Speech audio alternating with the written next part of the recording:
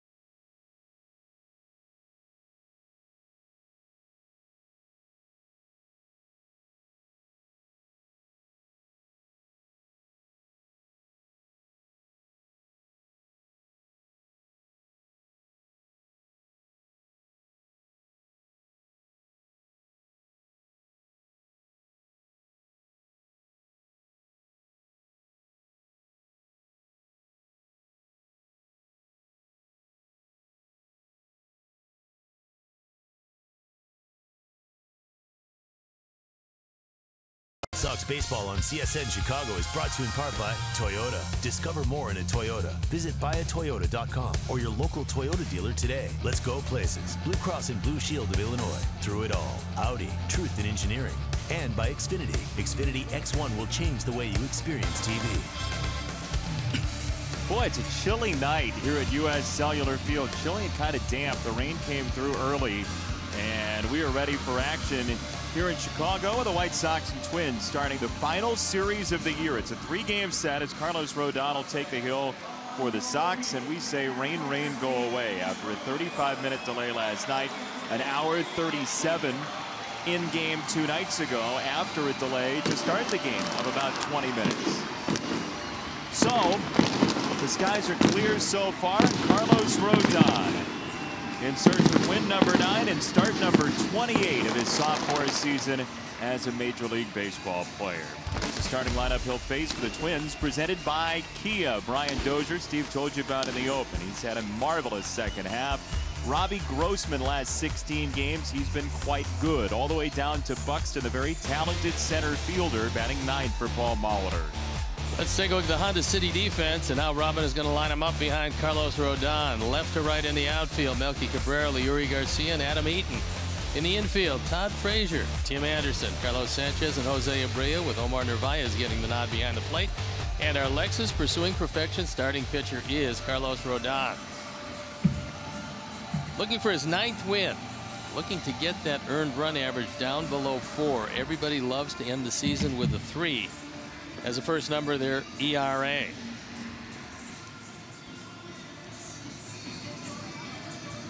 The umpires for the game tonight.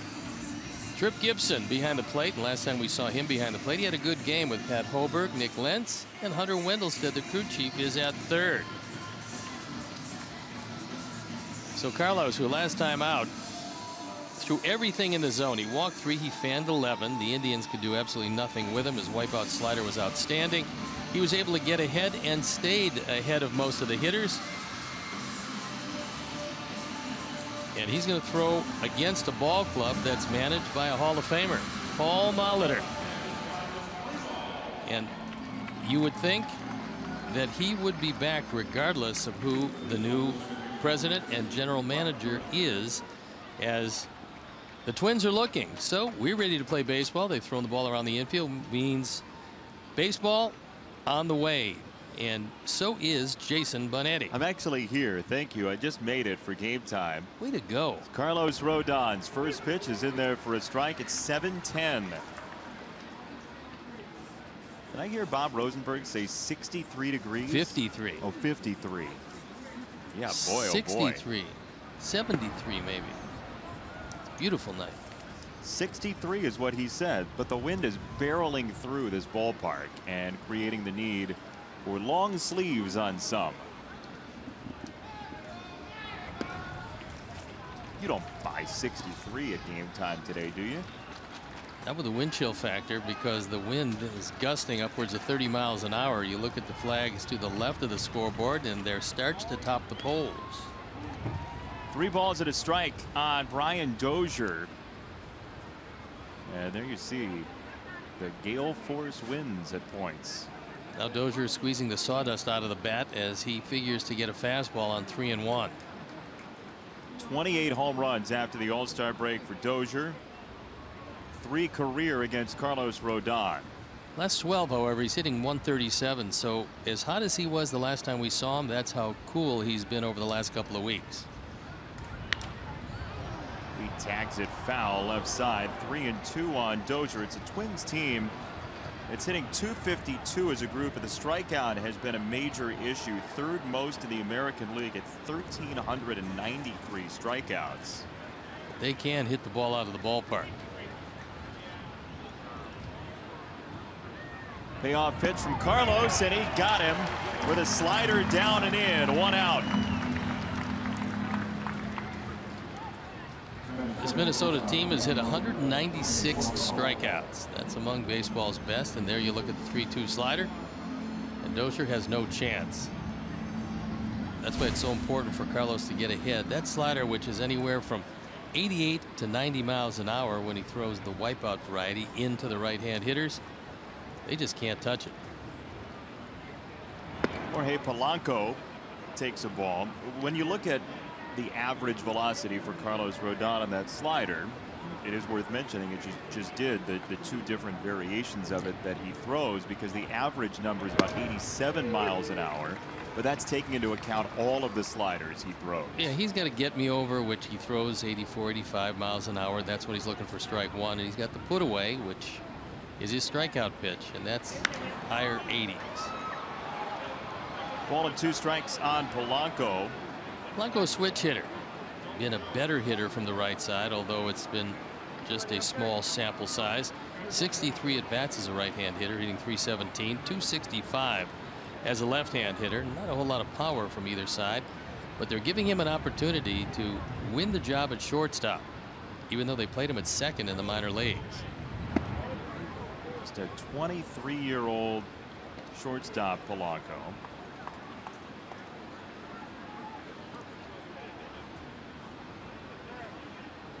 Two and two. And he got him swinging. Strike three, low and in. Second strikeout for Carlos Rodon, who punched out a career high tying 11 last time.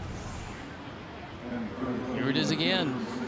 And there he goes. It's going to be a difficult night for Omar Narvaez in that Carlos going to throw a lot of those sliders in the dirt.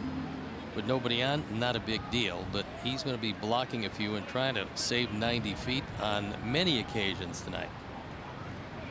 Two down for Grossman. And there is strike one. Told you about the velocity on Carlos Rodon's slider. It's one of the fastest, even with that get me over taken into account. It's one of the fastest left-handed sliders in the game of baseball today. At 87 plus miles an hour, he is fourth in Major League Baseball of left-handers in terms of slider velocity. Here we see Cody Reed, Clayton Kershaw, Stephen Matz, who was lost as they clean out his elbow with bone chips. Another one of the bad breaks the Mets have caught, and the Mets leading Philadelphia two to one. Well, great races. The wild card race coming down to the last weekend of the season. We'll keep you posted on that wild card race in both leagues. Detroit having to beat Atlanta, probably try to sweep them in Atlanta. They're leading three to nothing, bottom of the second. We have team coverage tonight on the wild card races. Steve and I will both be watching the scoreboard. Pretty interesting. I mean, you love to see any race come down to the last weekend, and the division's all decided. A little bit high, three and two on Grossman after two strikeouts to start the inning. Orioles and Blue Jays are tied at the top of the American League wild card. A game and a half up on Detroit, which is already leading Atlanta tonight. There's strike three. He drops it in, and Grossman can only get rid of all of his equipment. Rodon strikes out the side in the first.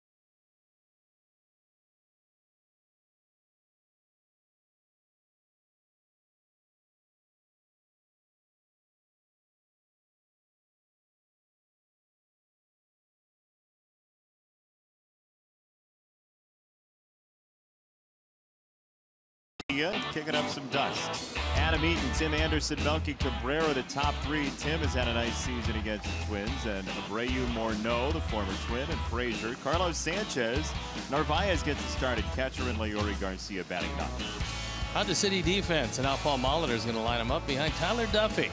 Grossman, Buxton, and Schaefer in the outfield with Escobar, Polanco, Dozier, and Kennys Vargas playing first base. Then John Ryan Murphy behind the plate. Our Lexus pursuing perfection starting pitcher is Tyler Duffey, who's 9 and 11. ERA way up there. And with 161 hits and 131 innings, you best not walk anybody. He's got good control. Trying to depend on a curveball to get people out. Out of baseball powerhouse Rice University, Duffey with a foul ball for strike one from Adam Eaton, who was at the top of the card after missing a bit of this homestand after colliding with the wall in Cleveland. Another solid season at the plate for Adam Eaton. Slugging 432 batting first. What are we going to see from Duffey tonight? You're going to see that curveball, and he throws the occasional straight change. His fastball is a good but not a great fastball. You can see the movement on it and he's not gonna he's not gonna knock your eyes out with velocity. So he's got to depend on control. You see the fastball 54%, his curveball close to 40% with a changeup infrequently. It's the breaking ball, and Eaton gets a piece of it. That looked like more of a slider there. That's apparently what it was. I mean, it didn't have the curveball spin, so I think he was trying to shorten up the break on it. That was a that was an emergency hack. As Duffey, at 25 years old, a fifth round draft pick, drafted back in 2012. And he followed through with the swing after the ball was fouled off. Well, that fastball had so much run the first time Adams saw it. Pitch number three, as you saw on pitch tracks. I think he thought he was going to have the same kind of result and clip the corner. So he decided, well, better get rid of it. There you can see most of the pitches inside this at bat. Another breaking ball in the dirt, and this time he gets rid of Eaton. So Duffey with a strikeout, and we've had only strikeouts tonight. Not good for our picks to click. Somebody's going to have some offense tonight. You can vote online at whitesox.com slash pick to click. And thank you to the fans for voting Melky to take him away from Steve. For the first time in a long time, thank you, fans. We love you very much, and especially tonight. Crew at the lead, Tim Anderson, Garcia, and Eaton in the booth. My guy is struck out already. You sound despairing. Well, it's tough. That's a very tough way to start. It's an uphill climb from here on out. Oh, but it's a long game, this national pastime of ours. Look at the run on that fastball yeah. from Duffey. Got good movement, and we have lots of wind. That one probably moves a good three or four inches.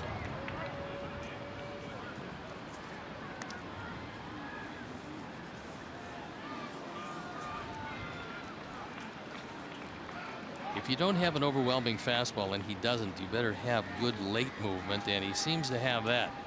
In a brief stint last year, 5 and 1 in 10 starts. So he got called up. Ball again. He got called up after making a couple of stops at Chattanooga and Rochester that made the most of his 10 starts, an ERA of 310. There you look at the career numbers, and he's over 500 from a team that has a tough year this year. That ball stayed up, and Anderson blasts it to right center field, and it's off of Buxton. Anderson off to the races. Around second, going for third, and Tim's there standing up. Wynn probably playing some tricks with it, but Byron Buxton has to make that play. He usually does. He's exceptional in center field, and his speed got him there as a high fastball up and out of the zone, tattooed to right center field. see Buxton get there, and he just misses it. And I have to believe that the wind was a huge factor. He hardly gets a glove on it. That one hit off his chest.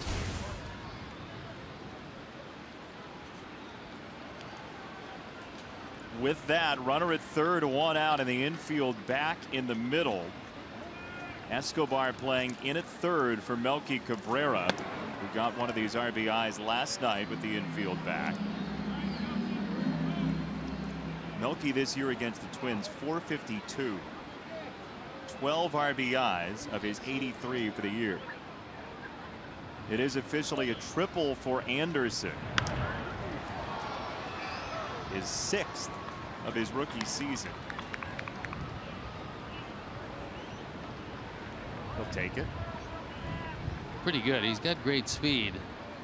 That was a bit of a gift in that when an outfielder gets to the baseball and then misses it, I expect him to catch that one. Melking looking for run batted in number 84 and a ground ball will get it done. See the frustration on his face to go down one and two. I think he's a little unhappy with his choice on the last pitch because it was way out of the strike zone as you see with Toyota pitch tracks. Duffey will have a tendency to get under the baseball and that means he'll open up with his front side a little too quickly. When a right-hander does that to a left-hand hitter everything will stay up and away. 2-2. Breaking ball Hong. He hammers it down the line. And Melky's got the first run for the Sox. It's yet another double for Melky Cabrera.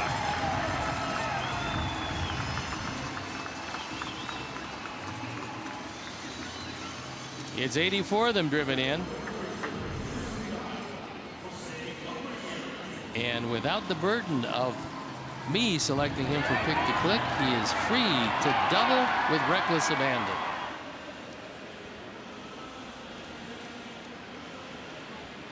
So Duffey's made a couple of mistakes, gotten a couple pitches up. And both Anderson and Cabrera have made the most of it. Melky now three off his career high of 44 doubles that he sent with Kansas City five years ago. Abreu takes a strike.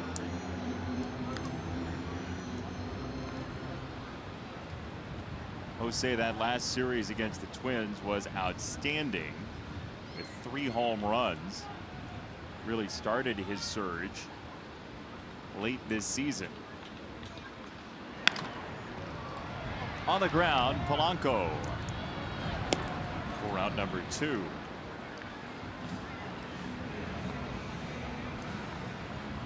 We got two guys at 98. He runs batted in, looking for just two more in these three games. Cabrera one, not Frazier two. And they are batting on either side of Justin Morneau. He's had a nice season for the Sox, coming back after the All-Star break. He takes a strike. Didn't know what to expect when he went back and faced the Twins in a White Sox uniform. First time he had played against them in an opposing uniform, and he got a standing ovation from the crowd. They really appreciate what he did all those many years he was there. You could see, I believe he was on the pregame show during that series. You could see on his face exactly how important it was to him to come back and have his kids see the reception that dad got at Target Field. Down and in one and two on Morneau. Cabrera at second, two out first inning. And in those days, it was a big threesome of Morneau, Cuddyer, and Mauer. And Joe Mauer's had some leg problems. That's why he's not in the lineup tonight. Morneau still makes his home in that area, so it was particularly gratifying for him and his family to get that kind of reception. Tags a one-two foul. Still a ball and two strikes on Morneau. Joe Mauer. There's the man that was a plus. Offensively, when he was a catcher, because of concussions and assorted injuries, they moved him to first base. They've got him for two more years at substantial money.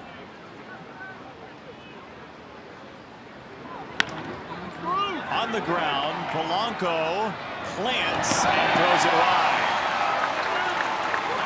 That ball could have gotten out of the infield twice. Once into foul ground on the first base side and once into left.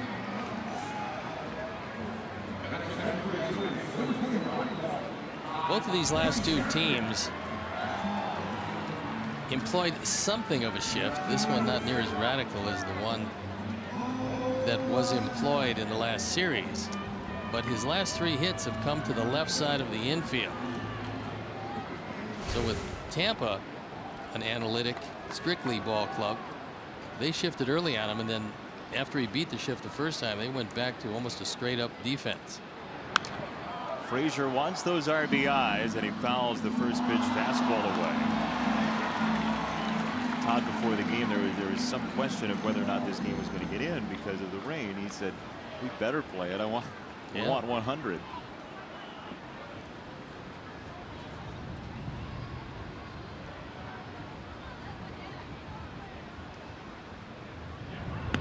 Ball and a strike on Frazier. He also has, I believe, some added responsibility being your partner in the bags tournament tomorrow. That is a heavy responsibility of carrying the team. On the ground and foul. Well, it's only because you said no. On the air.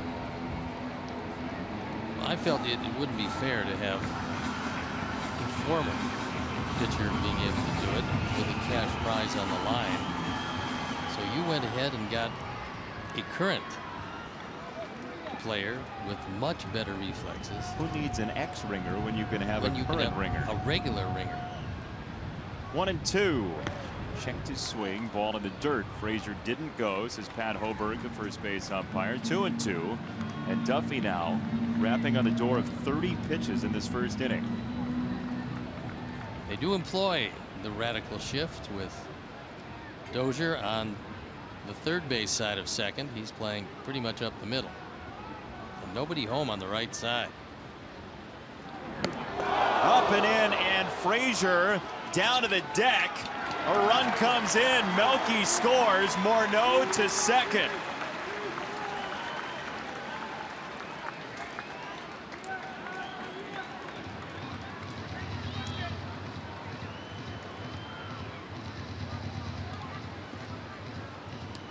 Frazier will be petitioning the league office. He's just happy to be able to get out of the way of that one. There's a high tight fastball. And it gets by Murphy. So it goes as a wild pitch.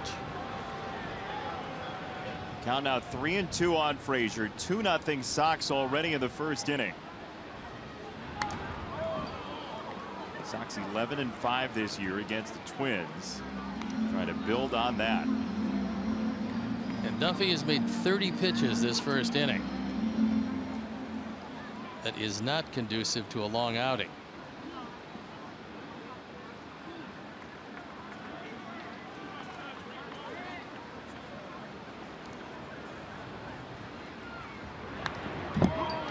Frazier's eyes lit up with that fastball up.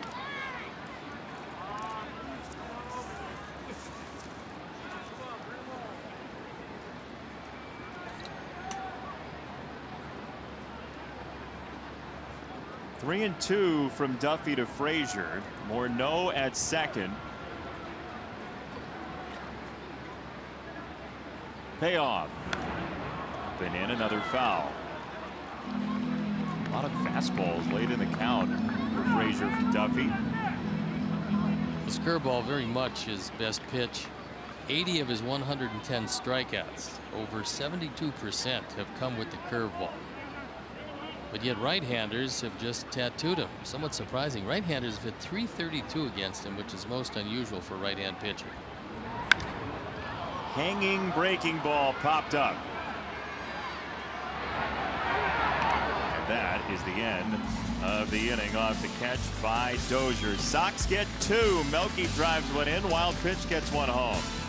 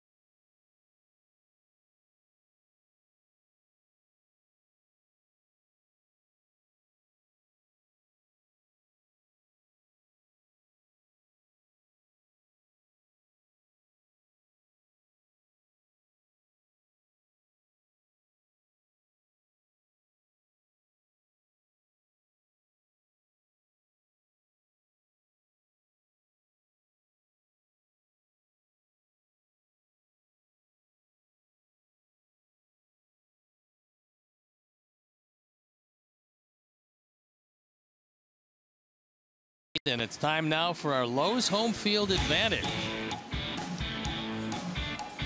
White Sox starters the last 22 games here at U.S. Cellular Field have been 15 and 7. The ERA has been 277. Opponents batting average of 226. Quality starts somewhat amazing. 18 of the 22 home games and the rest of the numbers commensurate with what you would expect for almost a team that wins two of three of their last month of baseball here at home. And as Vin Scully said on here we are on National Hispanic Heritage Night on the Fernando Valenzuela no hitter. If you have a sombrero, throw it to the sky. Strike one to Sano. After a strikeout the side first for Carlos Rodon. Sano has amazing power. Big rip and a foul ball, one and two.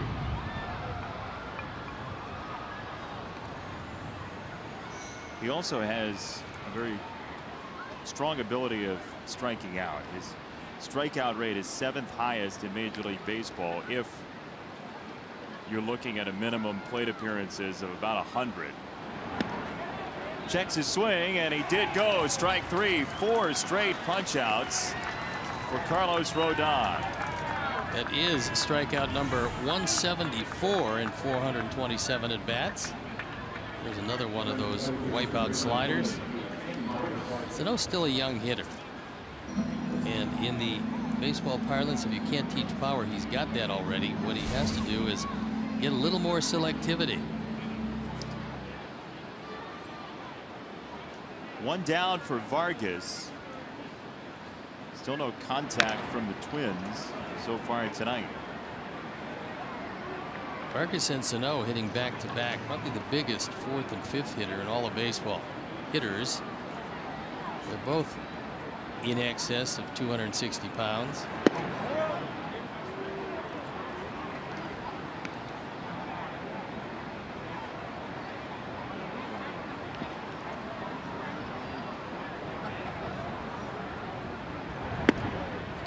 Presence of David Ortiz in the batter's box.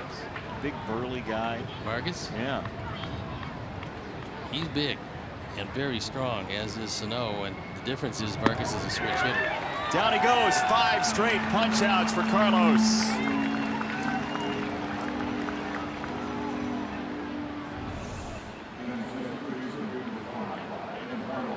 That's a straight change, and you love to see him with the confidence to use that. And you would think that Omar Narvaez was going to call a few of those. That's one thing that he's going to have to work on. And if he gets confidence, where he can throw it at any count, he's going to win consistently 15 games and up. Foul ball. So Carlos Rodon, dating back to that start in Cleveland now, has struck out eight consecutive batters. He struck out the side in the eighth in Cleveland.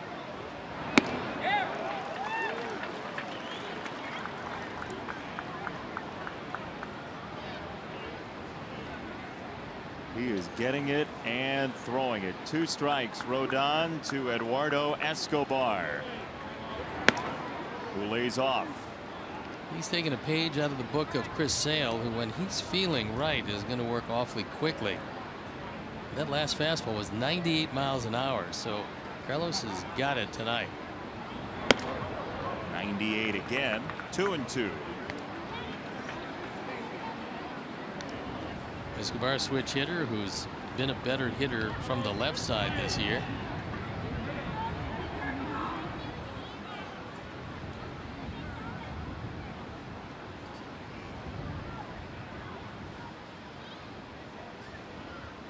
Two two. Swing and a miss, strike three. That's the inning, and Carlos Rodon, dating back to his last start, has struck out nine in a row, including Escobar, who's addled by the Rodon slider.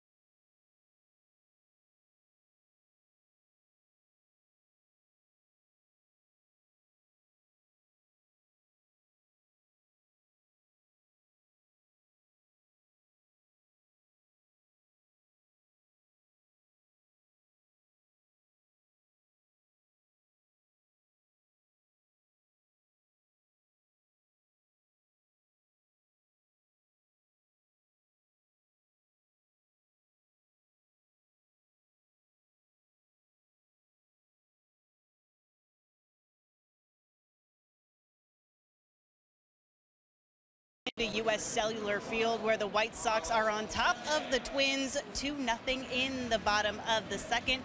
Carlos Sanchez walking to the plate right now and before we get to his six game hit streak one of his walk-up songs is the Macarena. I asked him, did you lose a bet or something? He said, no, it's actually the new version.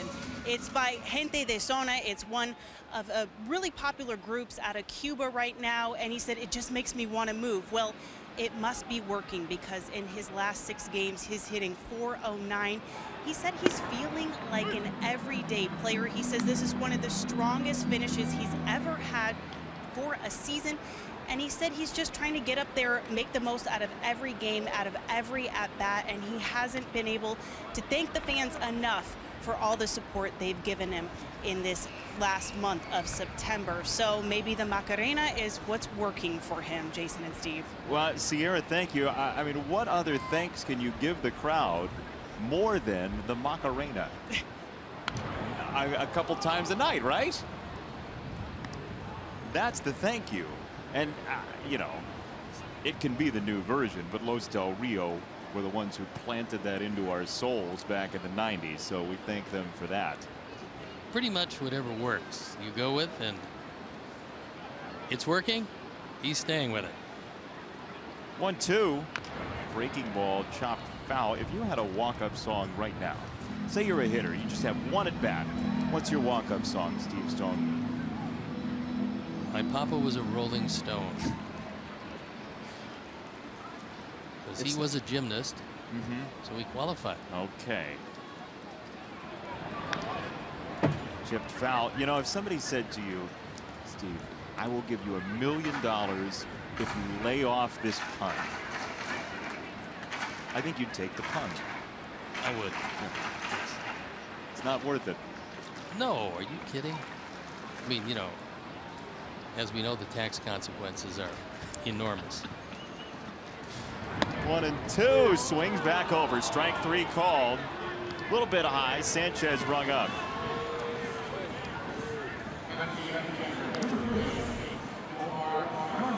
There you see some good late movement, and although it came over the plate, the question is, was it a little too high? Well, in the interpretation of Trip Gibson, it wasn't. So Sanchez goes down. That is the second strikeout for Duffey. One down for Narvaez. How how do certain pitchers create that very late movement like we saw there?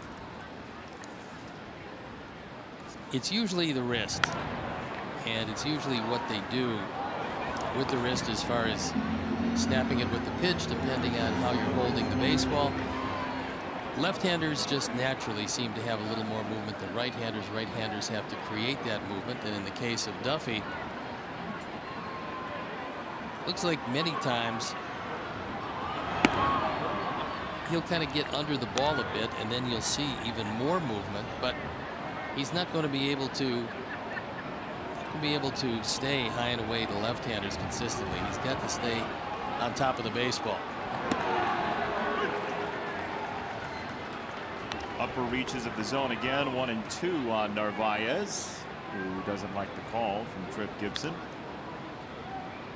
And now with a two strike situation, they go back out of the severe shift and playing almost straight up on the left side.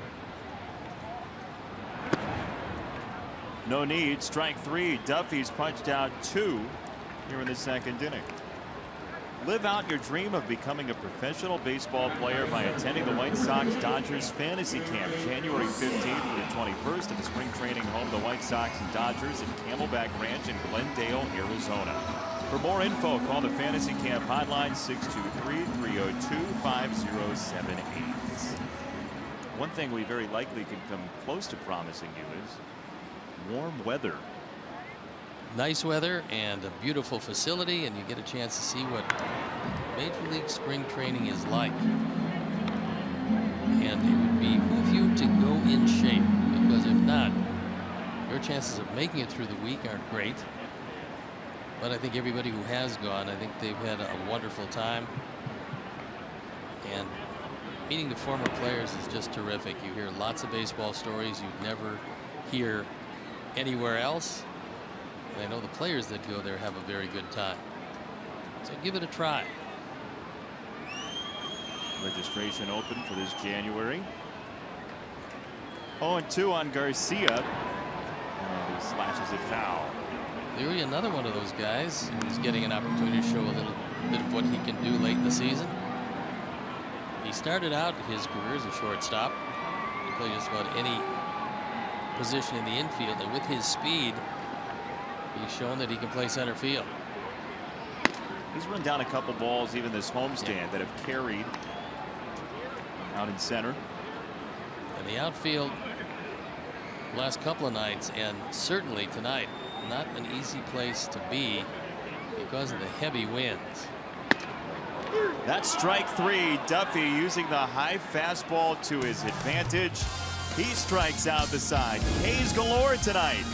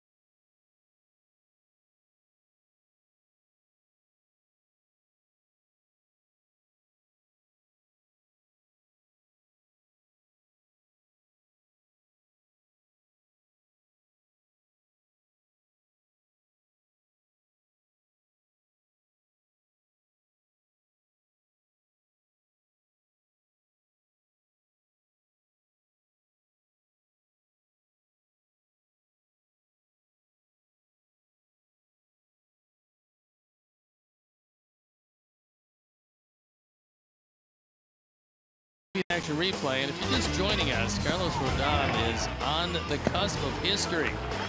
He's fanned six in a row to start the ball game, and it's Dozier, Polanco, Grossman, Sano, Vargas, and Escobar as he goes down swinging on a low slider. Nice block by Narvaez. So all six outs recorded via the strikeout. Most consecutive strikeouts to begin a game in Major League history. Jacob DeGrom and Jim Deshaies. The AL record is seven, and it's with the White Sox. Joe Cowley in 1986. Overall, most consecutive strikeouts in a game not to start the game, as Rodon gets that one 0-2. That's Tom Seaver back in April of 1970. 10 consecutive strikeouts of San Diego while with the Mets. 0-2. Strike three, seven in a row. 10 dating back to his last start. One of the things the hitters had best be aware of, and that is that Trip Gibson is going to call the high strike. That one just barely caught a piece. You see where Narvaez wants it. That's exactly where Carlos threw it. And now it's lefty lefty as Logan Schafer looking out at Rodon. Swing and a miss, nothing in one. He is untouchable, literally, so far tonight.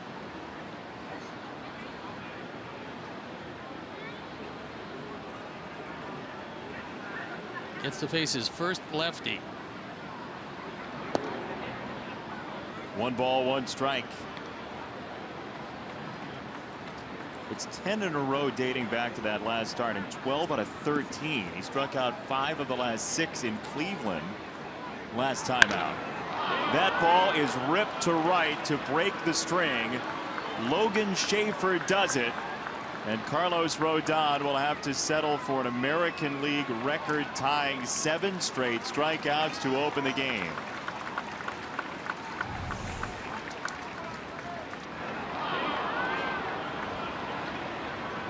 Schafer got a fastball, drilled it into right field. So now, and I like the fact that Narvaez went out there to have a talk with him. Sanchez coming out to have a talk. So some of the air has gone out of the balloon. You lose the perfect game, the no hitter. You lose the strikeout record. You lose it all with one swing of the bat by Logan Schafer. Now you got to get back to the fact that you only have a two run lead and deal with Buxton, who last time we saw him in Minnesota was throwing it very well and hitting it exceptionally well.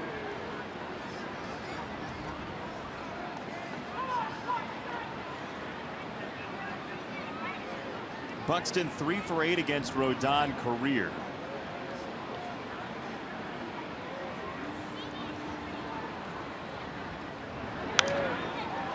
And fouled away. One ball, one strike. He went down to the minor leagues and he experimented somewhat and he's come back using a little bit more of a leg kick than he ever had before and it's worked out very well for him. He has all kinds of skills. He was the number one prospect in the minor leagues for a couple of years and never has really realized his potential here in the major leagues. He's been banged up a few times. Injuries have been very much of a factor for him. But there's nothing that he can't do.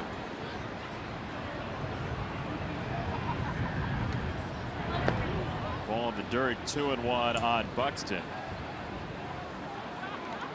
That's seven straight strikeouts as well for Carlos Rodon ties a franchise record for any point in a game.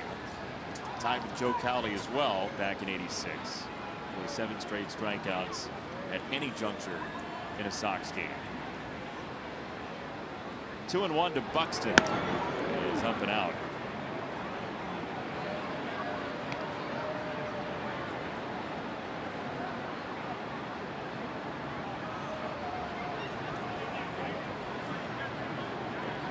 Now you have to settle back in after that tremendous run. The Twins try to build a rally. 3-1. That's a strike call on the inside corner, 3 and 2.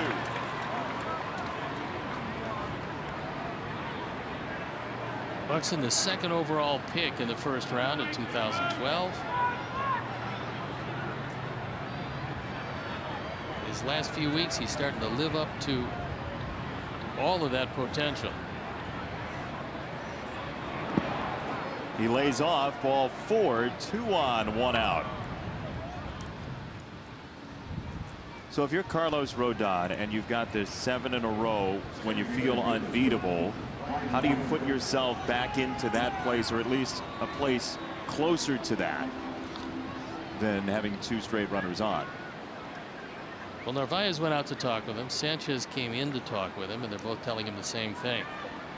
Only the third inning. You got a long way to go, and so you've got to pretend like nothing has happened because now the seven in a row doesn't mean anything after you gave up the double, and suddenly you find yourself with one of the league's most powerful hitters representing the go-ahead run.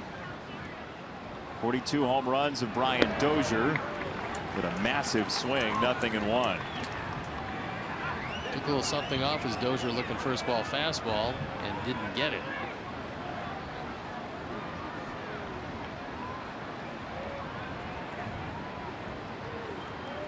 Tied for second in baseball with the 42 homers behind only Mark Trumbo.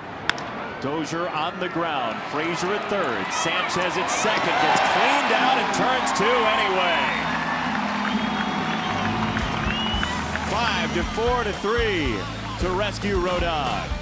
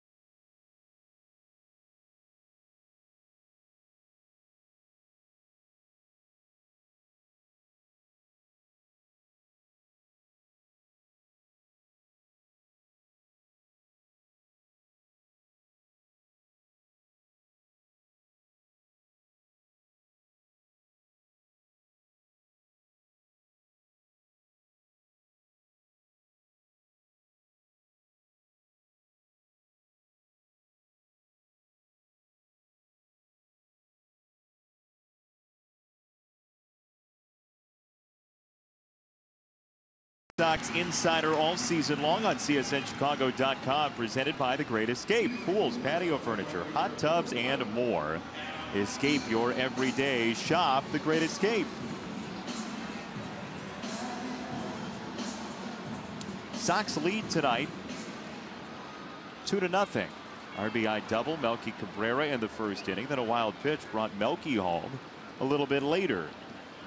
Tyler Duffey's got a strikeout string of his own. He struck out the side in the second as we swing back to the top. Yeah, the real headline tonight is Carlos Rodon, seven straight strikeouts to open the game, tying an American League record.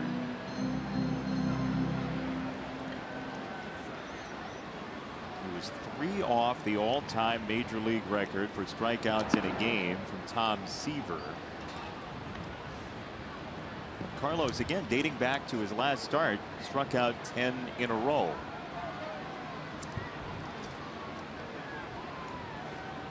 Two and zero from Duffey.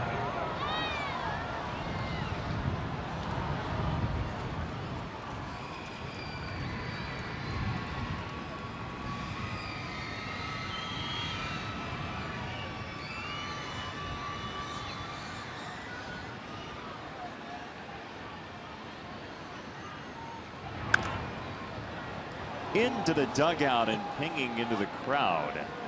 That scattered a few in the dugout. Is Adam looking at his bat to see if it's still in one piece.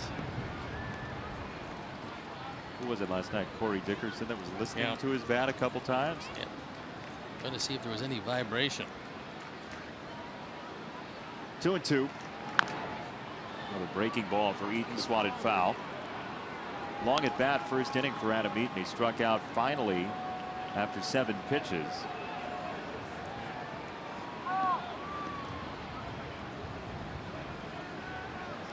Windy, chilly night at the ballpark. Breaking ball off the plate, three and two. He tried to throw a backdoor curveball, but it was wide. However, by that Toyota pitch tracks, they had a piece of the plate. Up here, looked like it went around it. Ball four high, leadoff walk. Adam Eaton's on for the Sox in the third.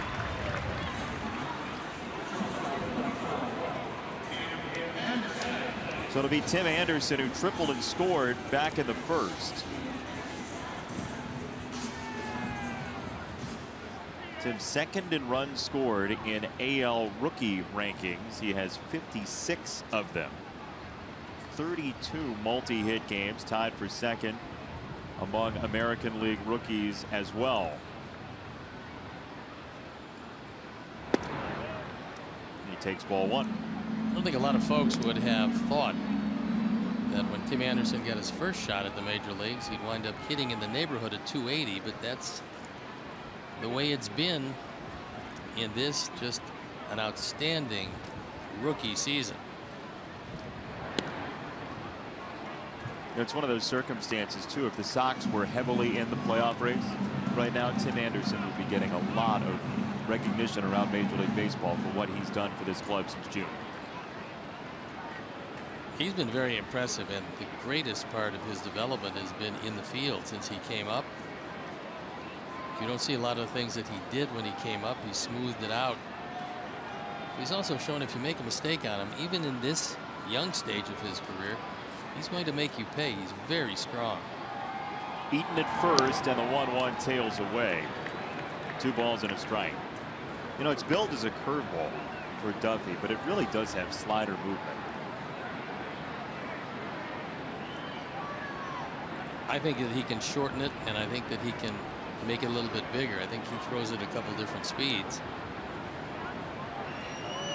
And whatever it is, it seems to work pretty well for him. However, like either curves or sliders, when he gets it up, as he did a couple times in that first inning, he'll get hurt. That's because he gets under it. How do you avoid that? Usually you try to shorten your stride. If you're not getting the break on the curveball that you want, you try to shorten your stride. But one of the things makes him unusual. We talked with the Hall of Famer Bert Blyleven before the game. He throws from the first base side of the mound, and most good curveballers, right-handed, throw from the third base side, so they can get a much better angle. And I know Bert said he threw from the extreme third base side. I threw from not quite as extreme as Bert did, but there you see it, the first base side. And for a curveballer, that's somewhat surprising. Well, you and Bert had an interesting conversation that I, I, was literally sitting in between about where you both looked when you were throwing a curveball to yeah, the plate. And Bert had one of the great curveballs around. He threw 60 shutouts. I mean, a magnificent pitcher. That's a strike to Anderson, three and two. What he said was he threw at the glove. And I didn't because I felt I would throw at an area that I wanted the ball to go at because I knew it would break. So I would look at the outside of the left shoulder to right hand hitter where he threw where the catcher put the glove. Anderson drills this ball soaring foul to the upper deck. Give you an idea how strong he is. That one get out in front well foul. Eaton going on the pitch.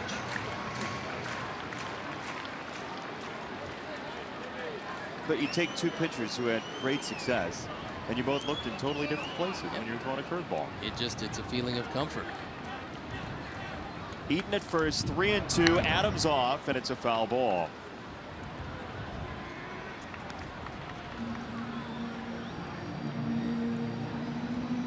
So Duffey, who struck out the side in the second inning, finds himself in bubbling trouble in the third.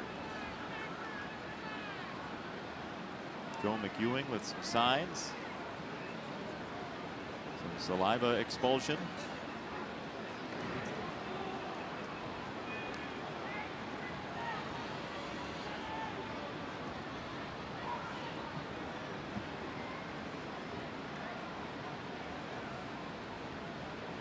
Three and two for Anderson.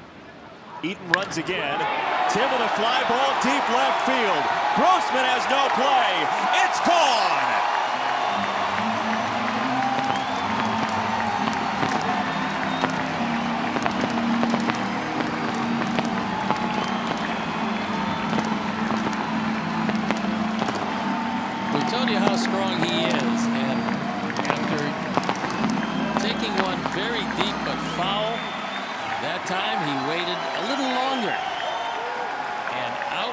Left center field in a heartbeat. The Ford home run replay as a fastball. Catching the inside part of the plate, but not inside quite enough. And Tim Anderson, 9 and 30 on the power numbers.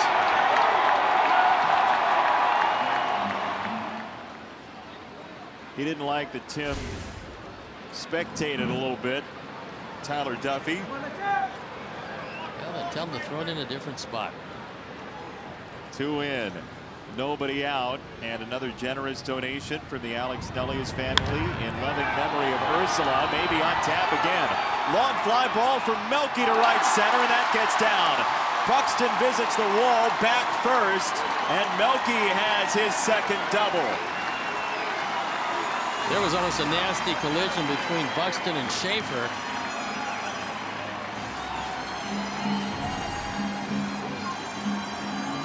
Gets a first ball fastball, and perhaps Tyler Duffey should not worry about who's looking at what as opposed to who's throwing it where. And Melky with his second double. Having a conversation with Brian Dozier 42 doubles for the Milkman. I think Dozier is talking to Melky about Anderson. I think he just said he watched it.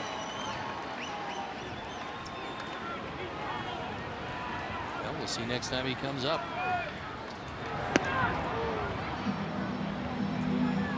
There's an amazing preoccupation in baseball with celebration that doesn't exist, honestly, in other sports. That's true.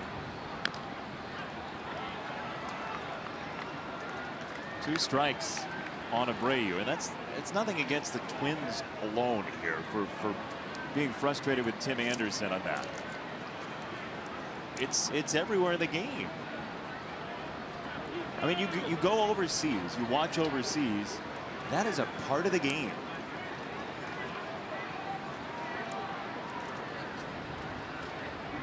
But we've seen a whole lot of a whole lot of guys unhappy with bat flips. Jose Bautista's bat, bat flip for the Toronto Blue Jays. We hear a whole lot about that.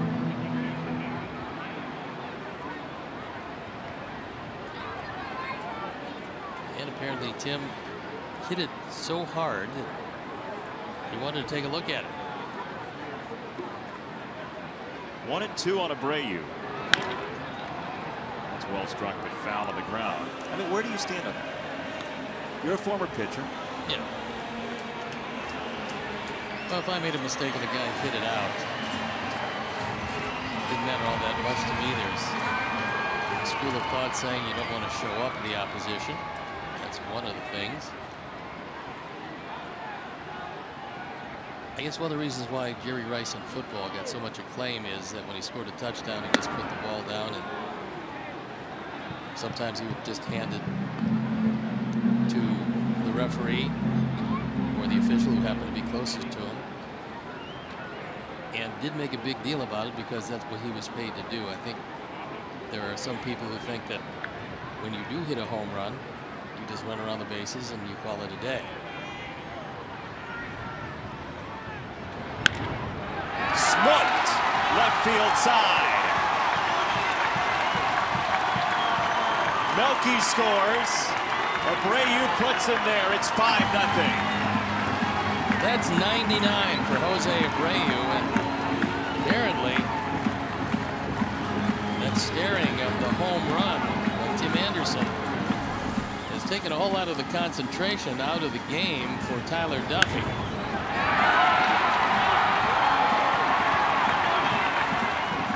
Melky scores easily. That's going to be it for Tyler Duffey. Perhaps learned a bit of a lesson tonight, whether you think a guy showed you up or not. Your concentration to get out of the inning. And so with Duffey walking out, we will also be back after these messages.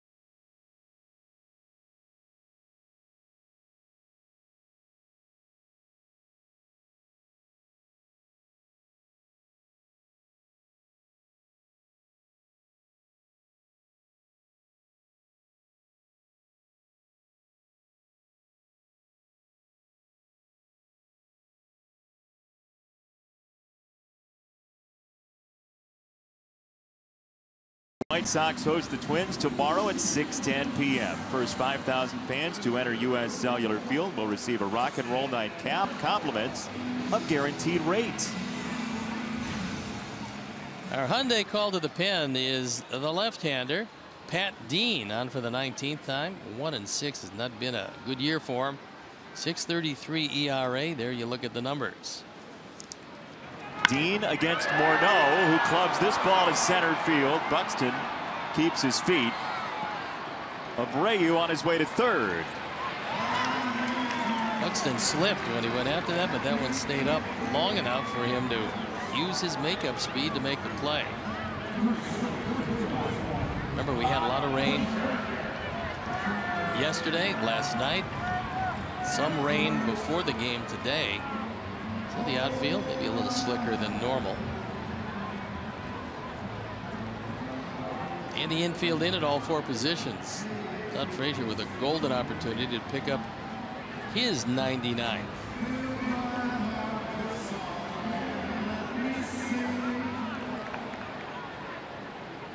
Infield in for the Twins in a 5 0 game in the third. And Dozier is way in. He's on the grass at second. Polanco is much further back at shortstop. Dozier probably playing on the grass because he doesn't want a hop that goes from the gra grass to the dirt because he's worried about the spin. Also the fact that Frazier very rarely hits the ball to the right side.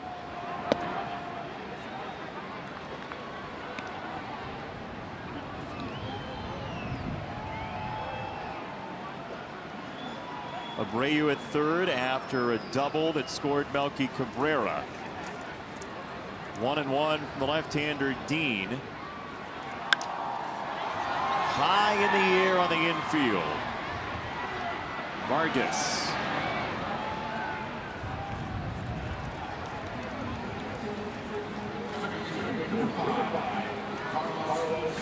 It's up to Carlos Sanchez.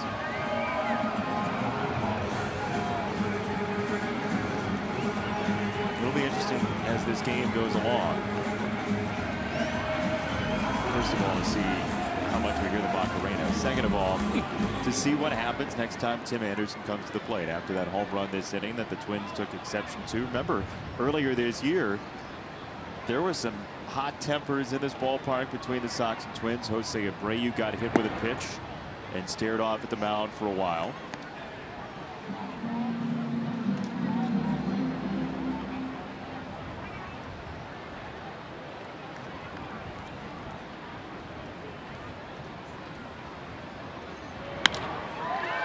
Into left field. Grossman for out number three. That'll do it. But the Sox, behind the strength of young Tim Anderson, put up three runs, two on this swing. It's 5 nothing.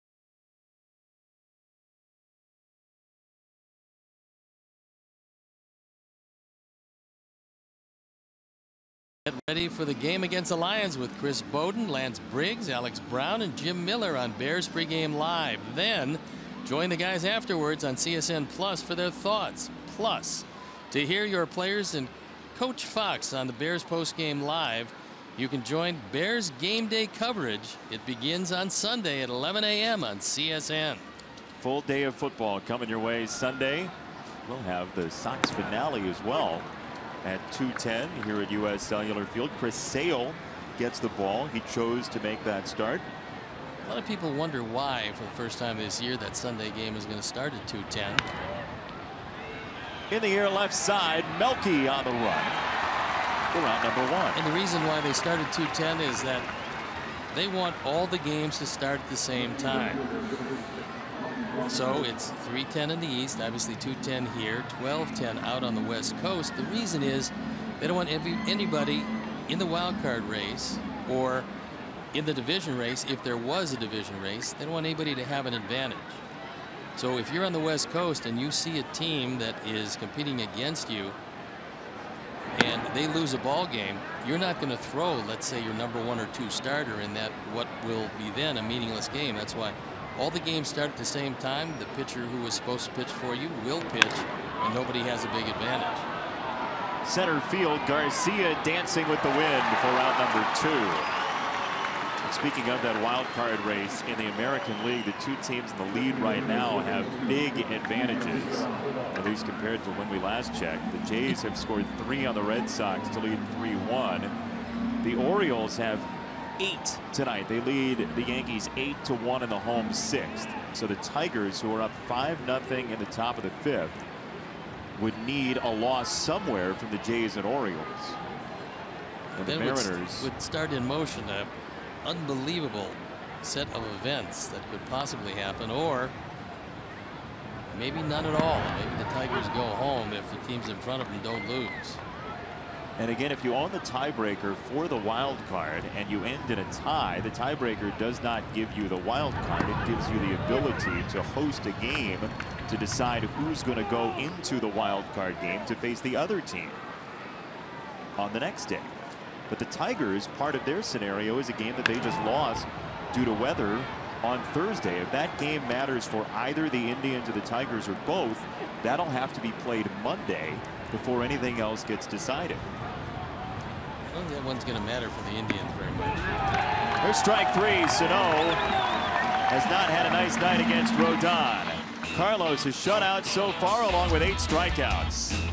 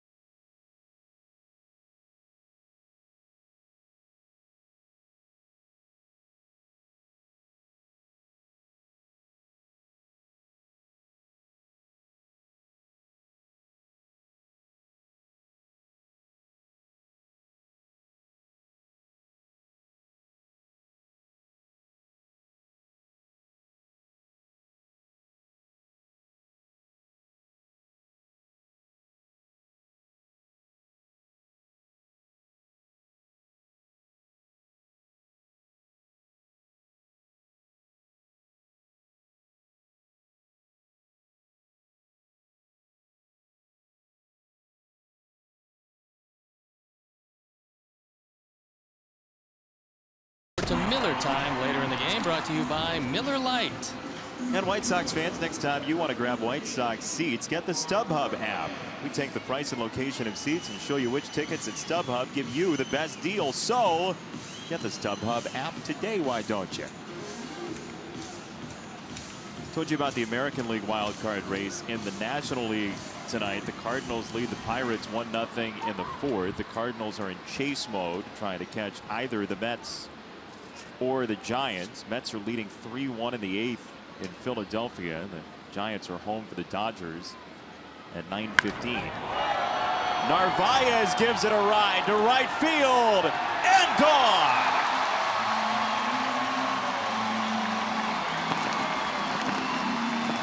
First major league home run by Omar Narvaez, and it wasn't a cheapie. The fireworks going off. And Narvaez, who's been very impressive in this his initial campaign, hits it a mile. Our Ford home run replay. Pat Dean leaves a fastball on the inner portion of the plate. And Omar takes it way back.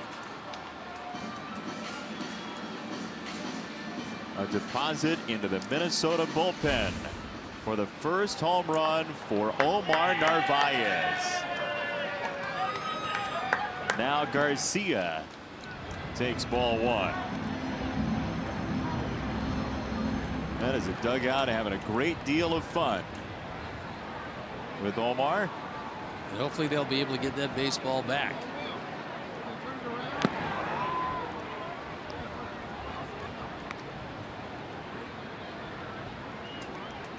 Very happy young man, as you would expect.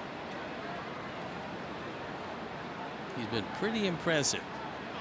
He's coming up, and injuries got him the opportunity to get a look that he might not otherwise have gotten. Garcia to right field. And the Sox offense has been lethal so far tonight. Eight hits.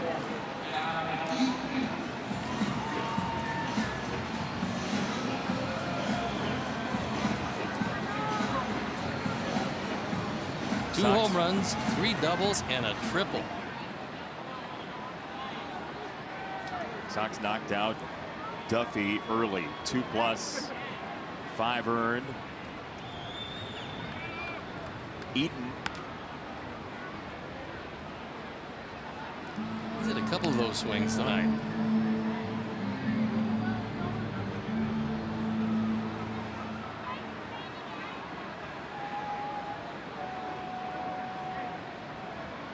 Hide Leury Garcia behind Vargas at first. Nobody know he'd be there. There's a really big man playing first base.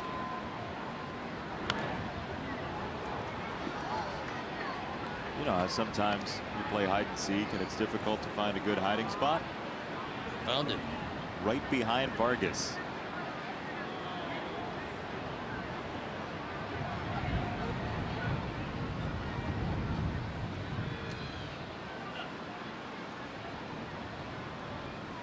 Oh, and two.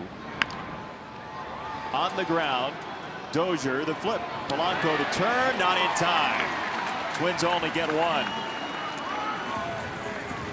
Here's your Sox Math question for tonight. Hashtag Sox Math. First correct answer wins a prize. Number of home runs Carlos Sanchez has hit this month entering tonight.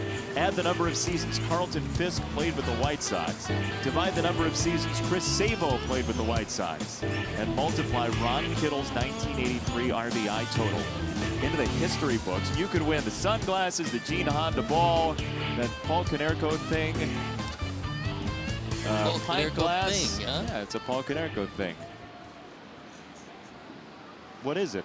I don't know, but Joe Grube was searching around in the archives and came up with it.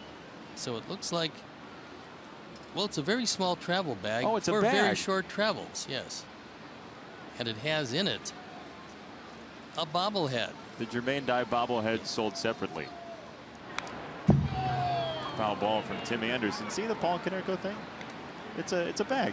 You can put your stuff in it. You put things in it. Things and stuff. And maybe there's a bobblehead for you. Maybe there is.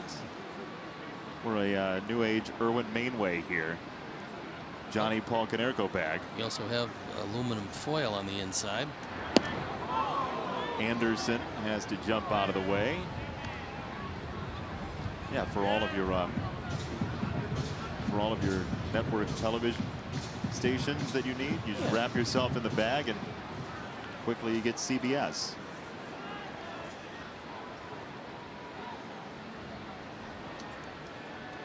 Well, with Anderson jumping out of the way of that ball, we'll see what comes next. It's another inside pitch. Steve Stone Yeah, that last pitch was a touch inside. Do we think Tim's getting visited in there because of the home run? Oh, perhaps, but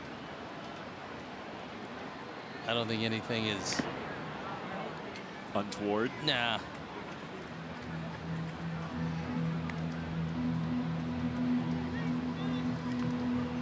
One of the reasons you have to think about is that get a guy on the mound throwing probably what Dean thrown 88, 89. Wind up hitting Tim Anderson, and somebody gets 98 or 99 in the ribs on the Twins, and that one threw an inside and misses him.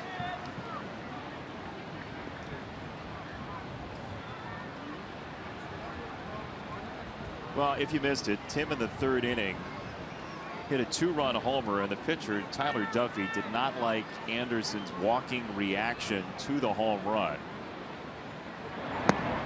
Check swing, ball low. He did go, says Pat Hoberg. And two down. The appeal, there's the swing, and could have gone either way. Didn't look like he went around, but Matt Hoberg says he did, so that's the second out.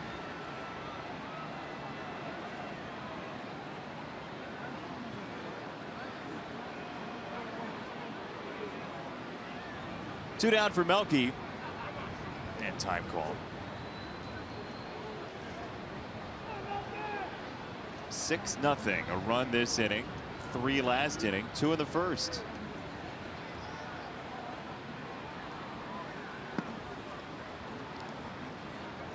You know, Toronto had a, a bit of a bit of a scuffle in their series. I believe it was with the Yankees. It was the one when. And lost a couple of guys. Yeah. They lost Joaquin Benoit for the rest of rest of the playoffs, I believe, or close to it. Tore a muscle. Here's the first run of the ball game in the first inning. Tim Anderson gets to third base on a triple, and then Melky slicing a double down the left field line to get that first White Sox run. E-Click Lending has donated $100 to the Pat Tillman Foundation, supporting military veterans and their families. That was Devon Travis also for a bit. So there was a team that is in it playing against a team that was out of it. Had a couple of dust ups. and wound up losing a couple of players. Never particularly good idea when you're going to the playoffs and the other team is not. Flip to left. Grossman got a late start, and this ball's down. Here comes Eaton. 7 nothing.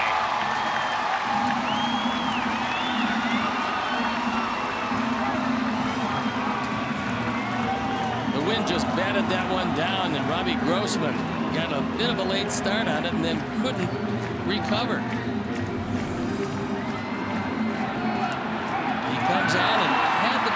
It looks like briefly, then it just eludes him. It's in the glove, then he throws it forward. So in this game, unlike football, the ground can cause a fumble, and Adam Eaton taking a look and keeps on going. Seven runs on the board for the Sox. And a first pitch strike to Abreu. How about the fans? What a mix to click selection today with Melky Cabrera. By Melky. They're doing it with by Melky. You know, Mom always said, don't cry over spilled Melky. Yep. That, however, a huge run scored by Adam Eaton. Huge, I tell you. You are repulsive.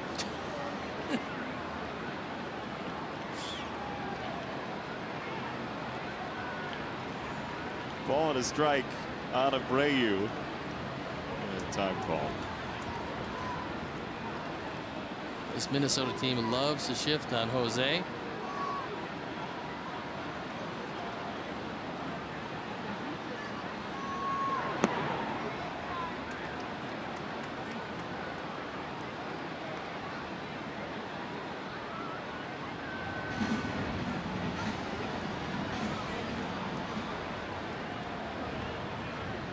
Jose's driven in 17 runs against the Twins this year, 17 of his 99 against Minnesota.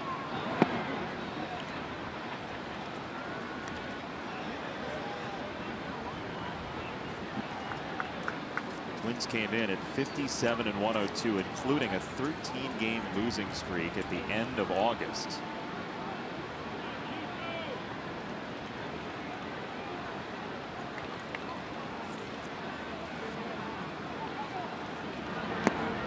That's ball four, and it's not close. Two on, two out here in the fourth. Twins came in with 57 wins, 102 losses. And that has secured them by a wide margin, first pick in the draft.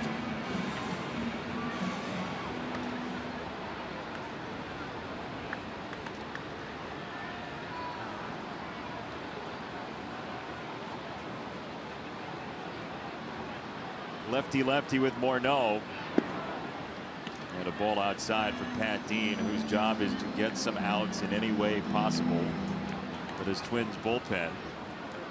Duffey went only two plus, gave up six hits and five earned runs. Cabrera at second, Abreu at first. That's outside 2 0. It's the second pick in the draft that is hotly contested.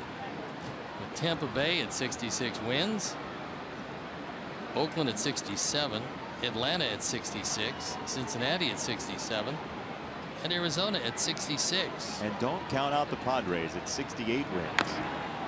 It'll be tough for them to lose enough. They only have three left. But they're hot. So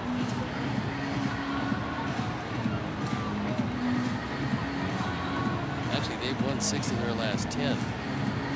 Foil their attempt at the second pick. Best laid plans, right? Uh, there are a lot of guys on a lot of those teams playing for jobs for next year. So Yeah, and you know, look, if you're going to be bad in any given season, in order for you to help build, you might as well be very bad. There's no team that goes out and lays down for anybody. That I know. I mean, they go out with every intention of winning a ball game on a given night. Just some teams are due to injury, some teams because they just don't have the talent, whatever the case.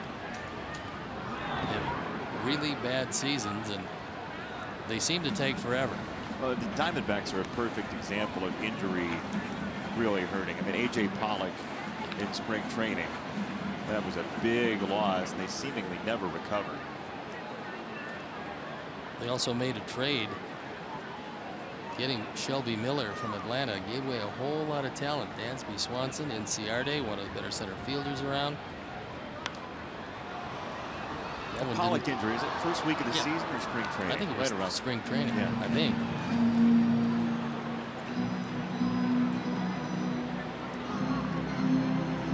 Omar. Home run number one of his career. Led off the inning. The Sox have followed with a couple more base runners. Two on right now. Cabrera at second, Abreu at first. Three and two. On the ground, second base, and Brian Dozier completes the inning. But it started this way. One of those times, silence is golden for Omar Narvaez. The loud crack of the bat that nobody, nobody wanted to talk to him. Seven nothing Sox.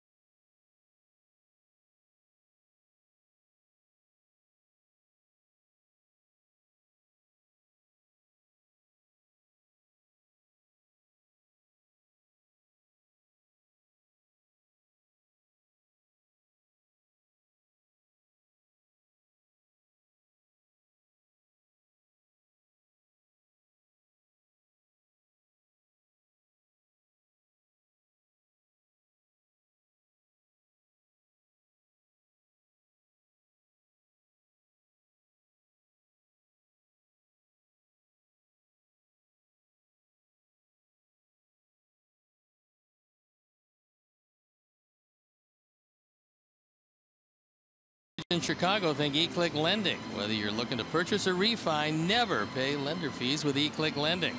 Visit us online at eclicklending.com to lock in your low rate today. eClick Lending, point, click, and save. Fifth inning, eventful night at the ballpark. If you're looking for offense, it's on the scoreboard, not in your bag, man. 7 nothing. The Sox with the lead.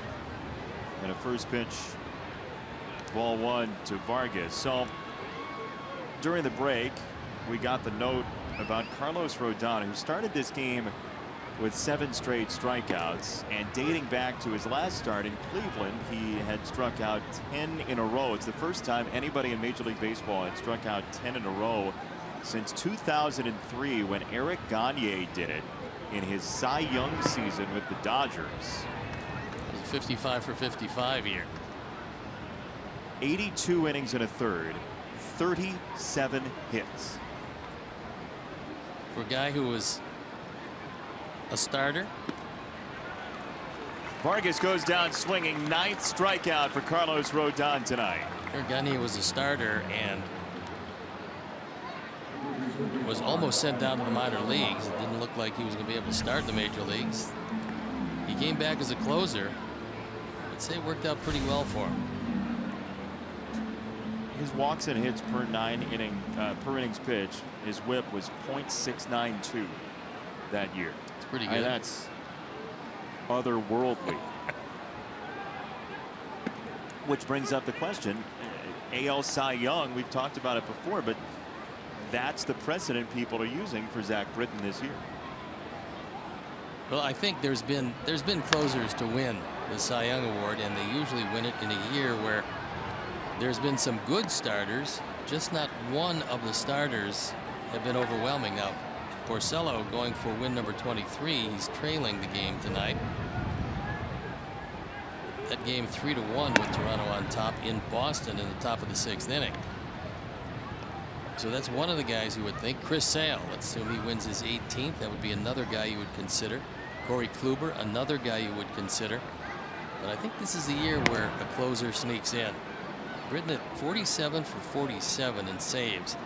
Nobody's getting any hits. Very few of them scoring. And so it's been a, an enchanted year for him. And he's helping to pitch his team, it would appear, into the playoffs as they lead 8 to 1 over the Yankees. That's in the top of the eighth in New York. That's strike three. 10 strikeouts for Carlos Rodon. Three in a row again. And two out.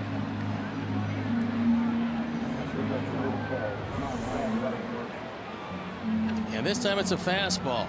That with good late movement, shaving off the outside corner. And Escobar for the second time down on strikes, both of them swinging.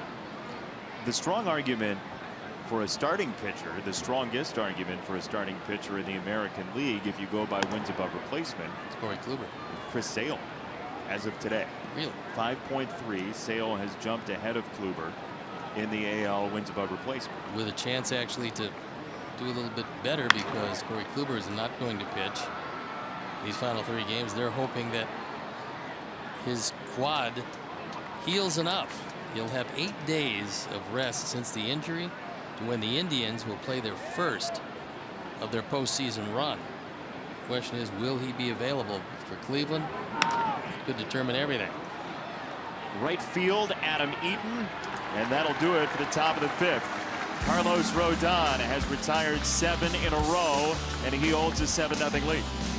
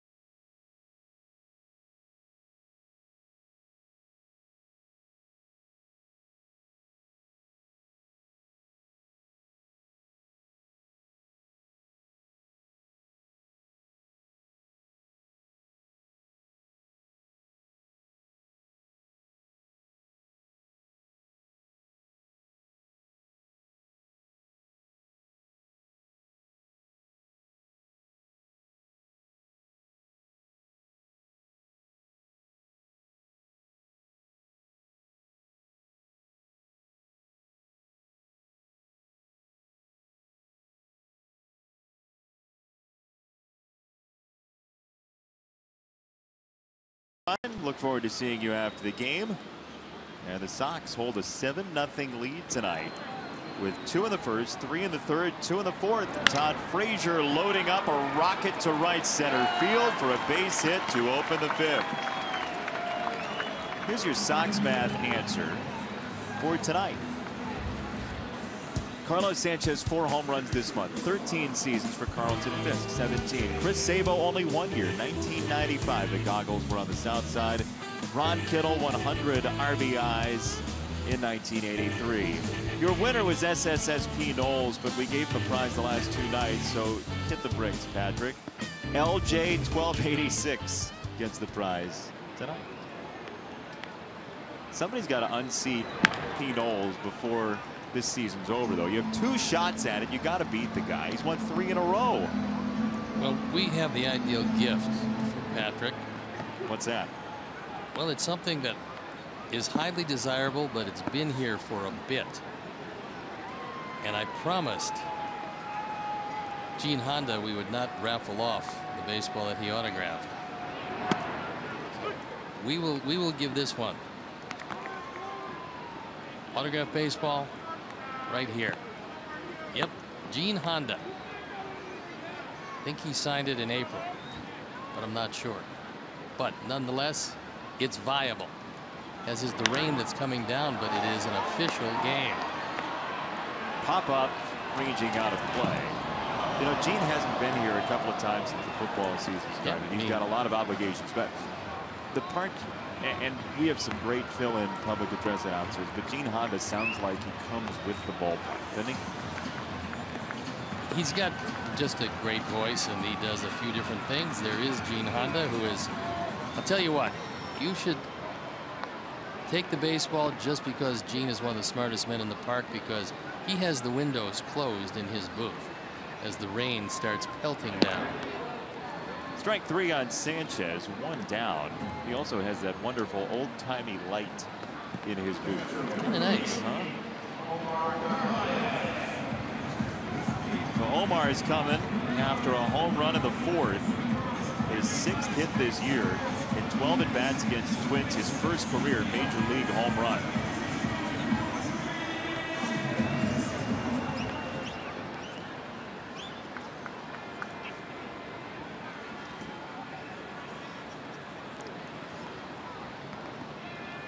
One out, Narvaez. And a strike. It appears that Gene was bidding a dollar For his own baseball? for his own baseball. We'll sell it to him for I told him we wanted to raffle it. The highest bid was 50 cents, so I think he wants it back. on the ground at third. Escobar trying to start two, and they'll only get one. Dozier had to reach for it. Two out. Garcia coming up. Check out the Xfinity fundamentals above left field at U.S. Cellular Field. It's accessible from the 100, 300, and 500 levels. Young Sox fans can learn baseball from White Sox Training Academy coaches. Don't miss the batting and pitching cages, base running areas, and be sure to check out the latest Xfinity technology, including the X1 platform.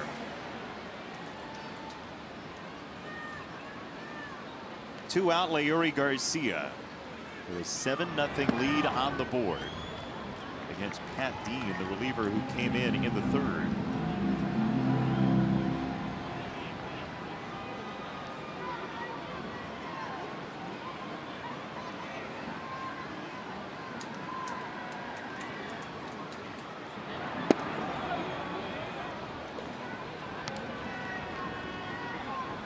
Blue Jays still holding a lead on Boston 3 to 1. Although Xander Bogaerts has just tripled for the Red Sox with one out in the sixth. Orioles blowing out the Yankees. Tigers with a big lead over Atlanta in the American League wild card hunt.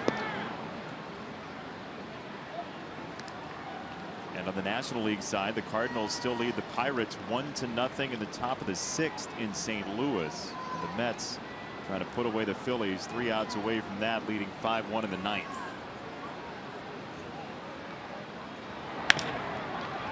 To third, Escobar giving ground. Throws out Narvaez, and that'll do it for the Sox in the fifth. 7 0 big score for the home team.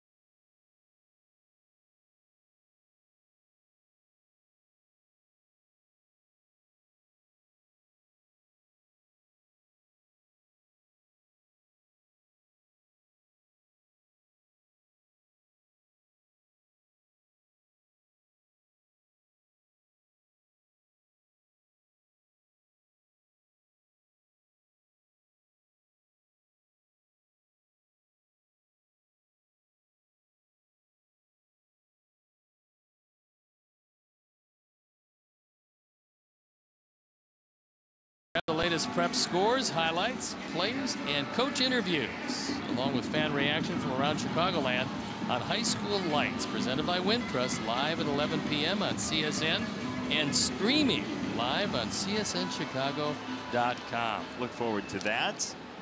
We have a tweet I'd like to share that came in during the break from Indy Jeffrey, a suggestion of a prize for the prize shelf for Yes. Sox Math, maybe next season. We have to get clearance from Clarence? uh, well, from Peter Sagal of NPR for this. And here's why. The suggestion by Jeff was how about Gene Honda's voice on my voicemail as a Sox Math prize? Which I think is, a- is a really neat idea. The news quiz that they do weekly on NPR that's filmed and taped here in Chicago, Wait, Wait, Don't Tell Me, which we had a prize in the prize show for earlier this year, they've been doing for a long time the host's voice on your voicemail or answering machine, Carl Kasell. So I think we'd have to get clearance from the Wait, Wait, Don't Tell Me people before we ripped off their idea so brazenly, especially after mentioning it on this telecast. Tell you what, this seems to be a good idea to me. Okay. I will text Gene Hunt. Okay.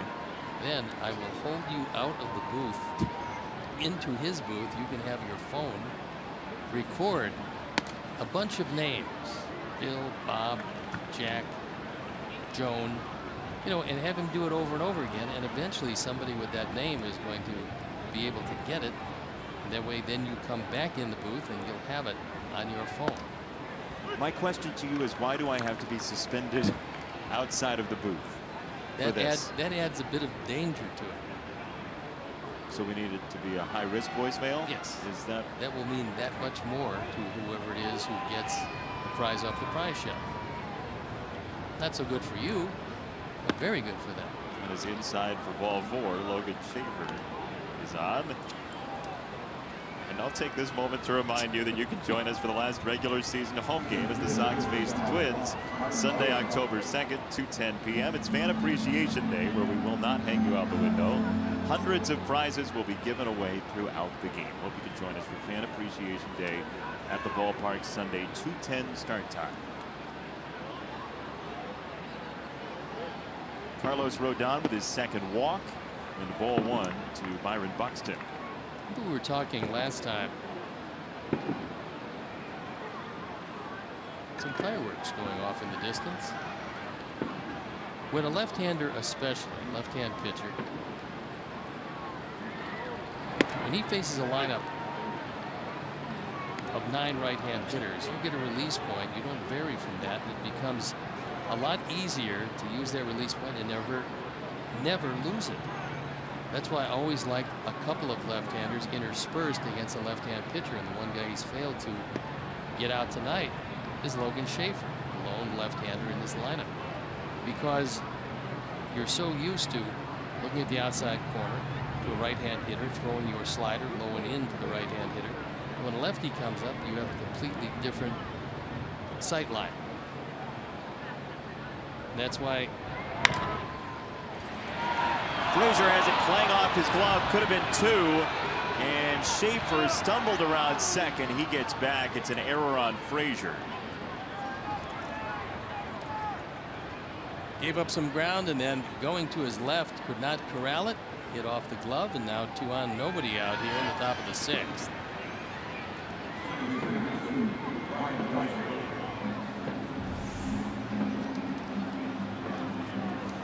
gets in between hop and as he goes back the ball just seems to flatten out under the glove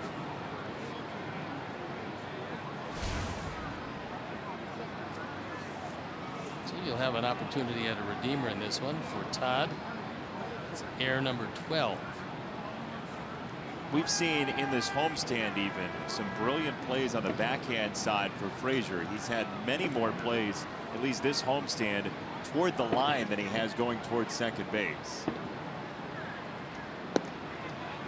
Ball one to Brian Dozier, who can certainly change a game with his power.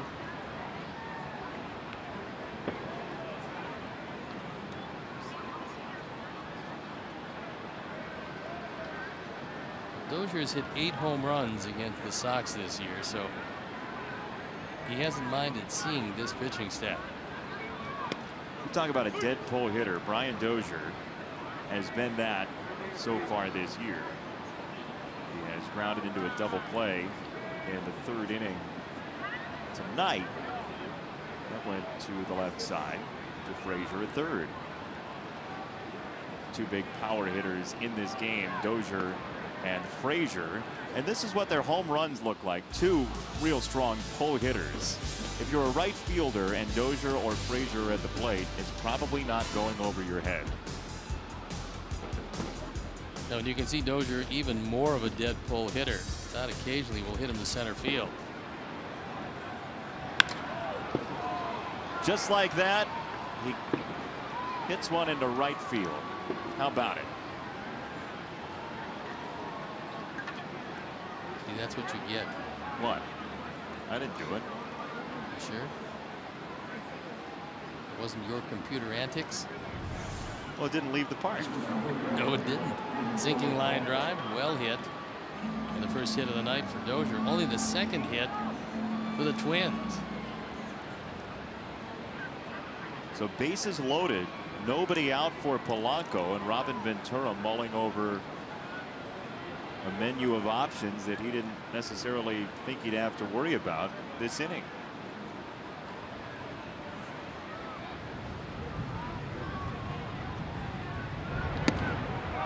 That one gets away from Omar and Schafer scores. The Twins are on the board. Bob Rosenberg with his definitive call of a wild pitch as that one gets away.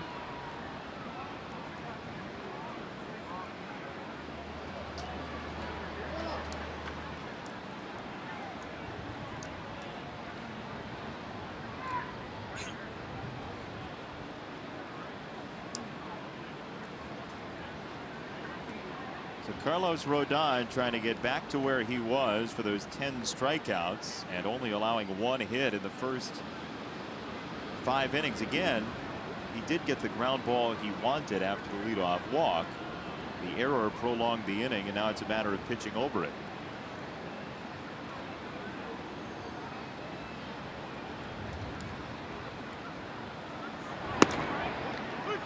There's a strike outside corner, one and one. Last time out, he had his career high with 11 strikeouts. At only 80 pitches. You would think that he can right the ship and surpass the 11.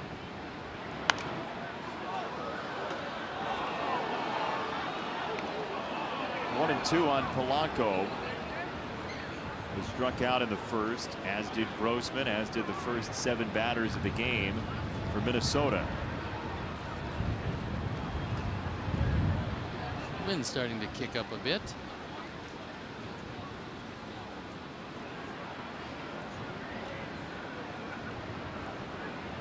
One and two. Line to right field, a base hit for Polanco. Dozier to third as Buxton scores at seven to two.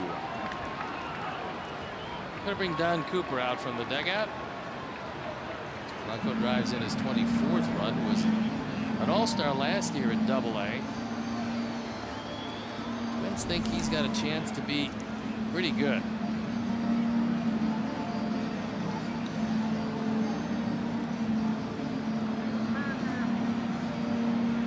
Runners at the corners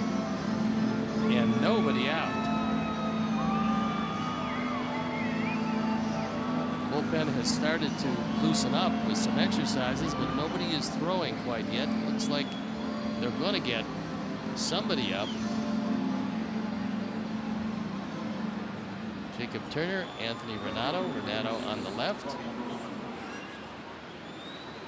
Turner on the right with Mark Salas now moving in between them.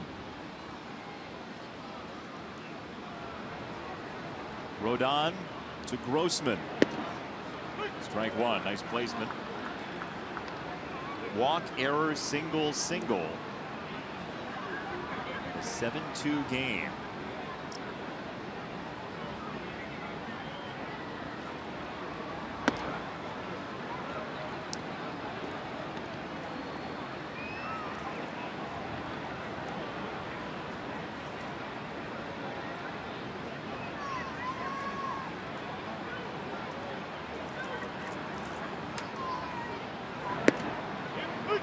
Rodon it in again. One ball and two strikes on Grossman.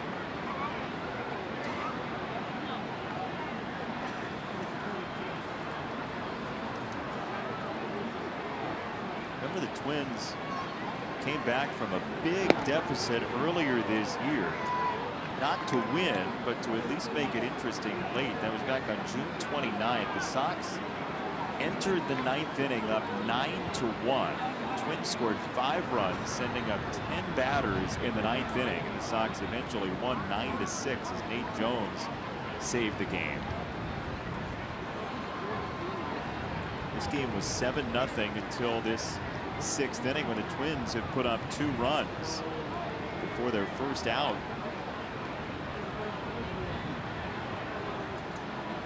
Two and two from Rodon. It's inside three and two.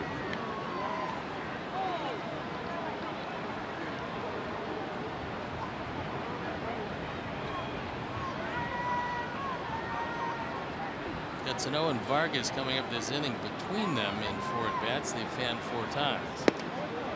Inside ball four. The bases are loaded. Nobody's out in the sixth inning. Chris Beck starting to throw. And with the visit already from Don Cooper. The next one will signal a substitution for the Sox. Well, the next one, if anything, is or Frazier going to mound to buy a little time for Chris Beck. If things don't work out very well in this at bat. It's a favorable matchup for Rodon, at least historically here. Sano 1 for 11 against Rodon. Sano has taken it deep. That one hit was a home run. Base is loaded. Dozier at third, Polanco at second, Grossman at first. Pretty decent speed on the base paths for the Twins. And the trip to the mound for the Ryans. The wind whipping here in Chicago. The game becoming a little messy after a clean first five frames for Carlos Rodon.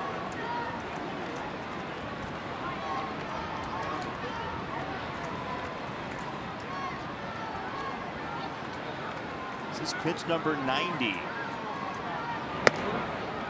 Not close, 2 0.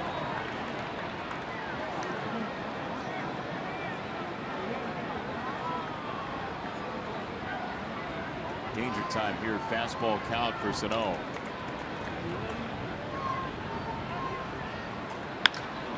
He goes after it and lifts it to right field. Eaton is back. Eaton at the wall. Adam makes the catch.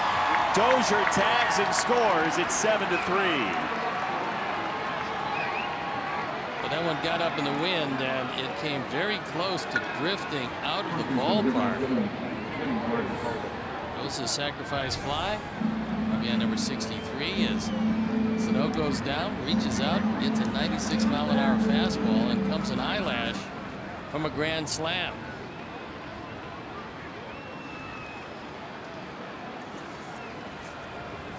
Another strong play in right field for Adam Eaton, possible gold glover in the Sox outfield.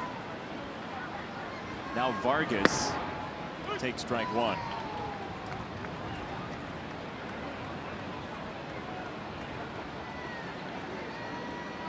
Carlos can get him to hit the ball on the ground. It'll be a pretty easy two.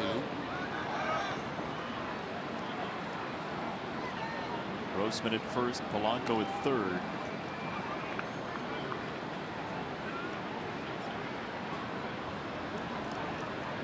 Twenty-six-year-old first baseman Vargas, who had hit lefties to the tune of 425 coming in. Two balls and a strike.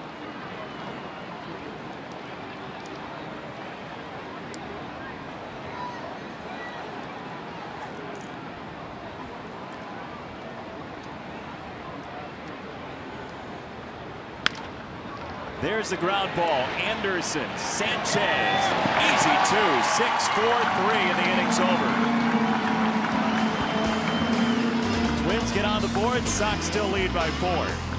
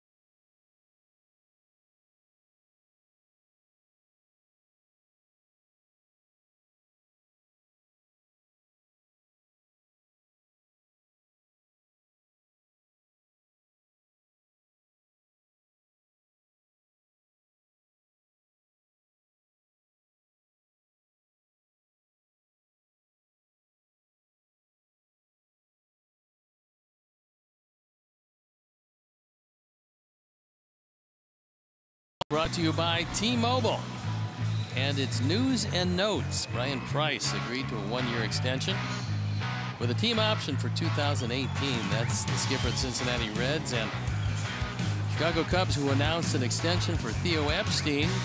Today announced extensions through 2021 for the general manager Jed Hoyer and senior VP Jason McLeod. And here's last night a controversial ending to a big ball game. Bryan Price got his extension for his ability to chase down the umpires, evidently. This ball from Yadier Molina goes over the wall and hits above the fence off that MoLottery.com sign. It should be a ground rule double. However, the ruling was that Bryan Price did not signal his intent immediately to challenge. So the run stood and the Cardinals won. Bryan Price was very frustrated after the game. Some reporters timed the amount of time in between the play happening and Bryan Price signaling and looking for the umpires. They said it was somewhere between 28 to 32 seconds. The rule being on the final play of the game, you need to make an immediate signal that you want to challenge the play. Now, a couple questions arise from that. Number one, do we need something like a challenge clock to give managers an opportunity to have a, a, very tangible amount of time? And number two, why wouldn't the umpires just wait on the last play of the game? Why do you have to make a decision faster on the last play of the game than you do in the middle of the game? Sanchez skewers this ball off of Polanco. Should say Eaton with a base hit to lead off the sixth inning. Adam Eaton is on with a leadoff single. I would think maybe the best of the events that could happen out of that is a signal from the manager to lock the gate so the umpires can't leave the field. We'll take another look as he hits it right off the glove of Polanco into center field.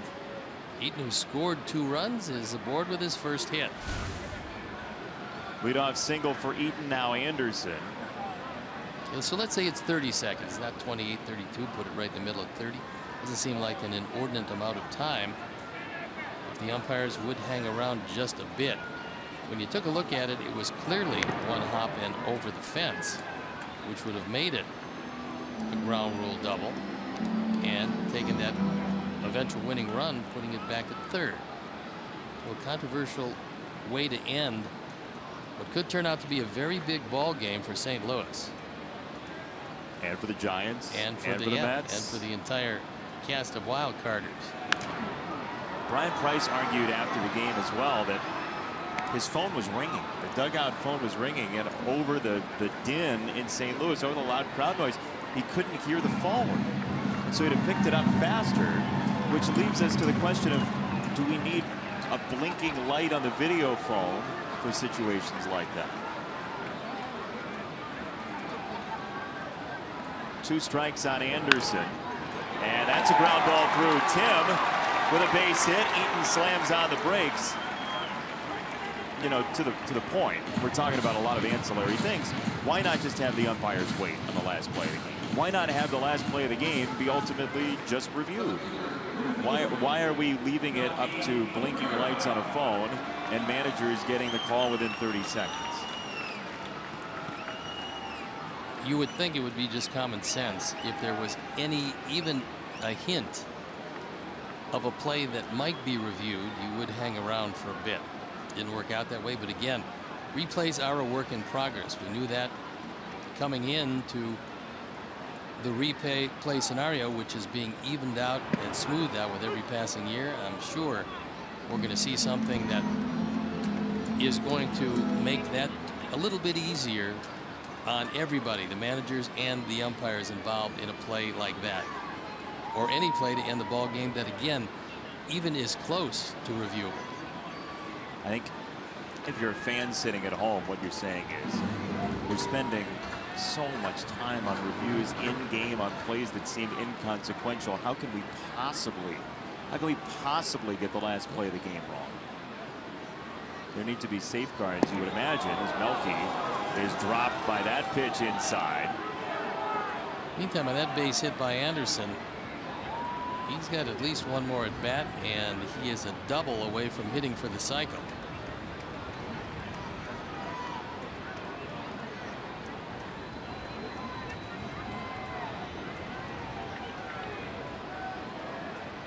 Ball a strike on Melky. And that's not even meant as a, as a criticism of the replay system. As you said, it's a work in progress. Baseball's done a good job every year of making changes to it to improve. You can't anticipate every situation. You would imagine that last play of the game thing would get legislated after this season. Yeah, especially as it's come up in what turns out to be a key game. One two. Fouled back by Melky.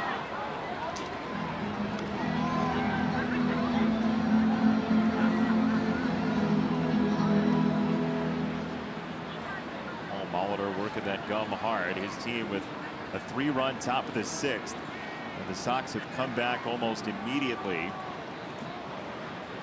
Back-to-back -back singles to lead off the sixth, and Melky goes down swinging.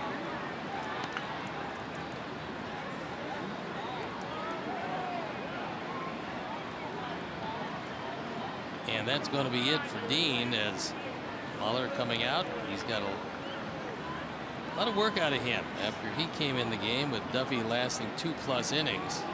Dean came on. And Light is coming in the game. As he comes Pat. in, we'll step out.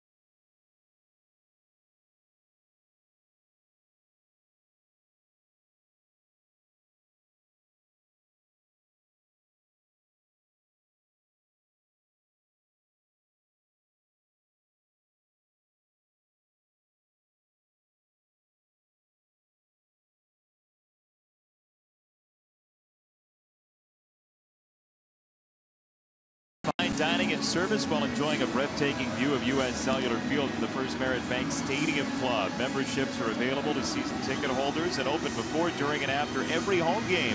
First Merit Bank Stadium Club is also perfect for non-game day events, including weddings and corporate parties.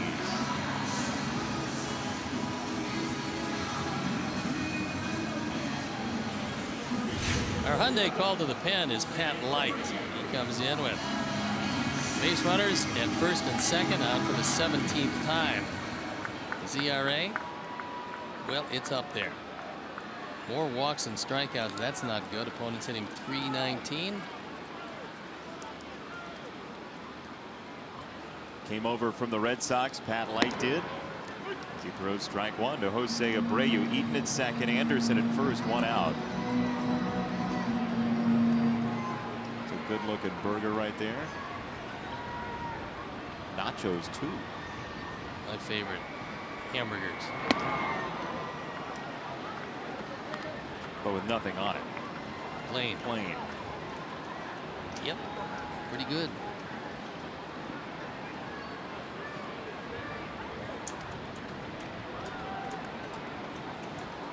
Ball to strike on Abreu. He's one for two with an RBI double. By the way, the Red Sox have tied the game against the Blue Jays. 3-3 in the seventh. Mookie Betts with an RBI single. would be a big help to the Detroit Tigers if the Red Sox could complete the comeback. Tigers were a game and a half back coming in.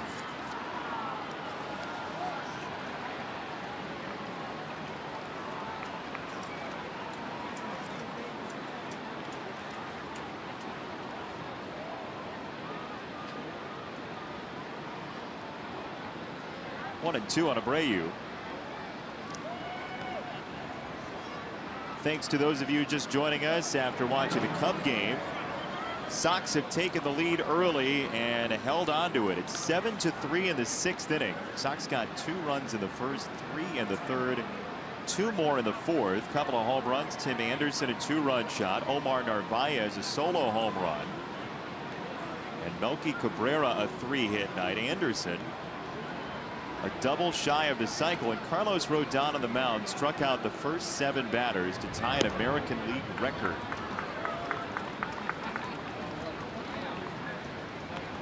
That light came over in a trade with Fernando Abad, left-handed specialist, going to Boston. Light's got good enough stuff. The question is, can he get the ball over the plate consistently?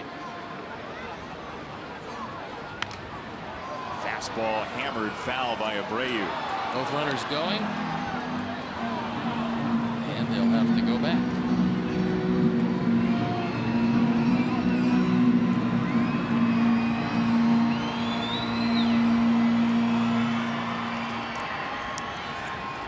Jose Abreu, one RBI away from 100. It would be his third straight major league season with 100 runs driven in. Three and two. On the ground, third base side, Escobar. Out number two. Eaton to third, Anderson to second. Mentioned Carlos Rodon striking out the first seven to tie an American League record. Dozier to lead it off, and then Polanco, both swinging. Grossman called. Sano swinging. Vargas swinging. And Escobar. That's six in a row. Then it was Murphy on a called third, and the spell was broken. Was Logan Schafer doubled on a fastball in the third inning to break the streak. It was 10 straight strikeouts for Carlos Rodon dating back to his prior start in Cleveland. Now with two out, Justin Morneau takes a strike at the knees.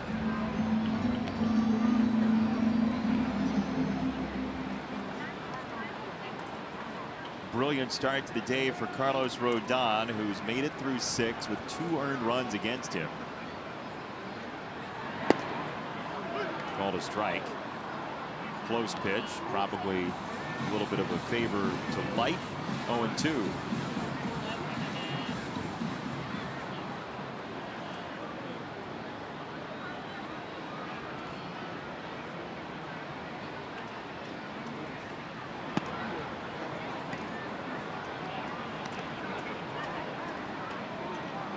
Mentioned the Red Sox had tied the game against the Blue Jays. They now have taken the lead five to three in the seventh inning.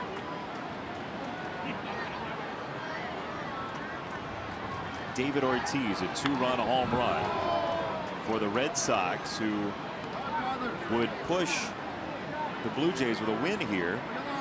Just a half game ahead of the Tigers for that second spot in the AL wildcard. This all turned on one swing from Hyun Soo Kim a couple of nights ago at Rogers Center.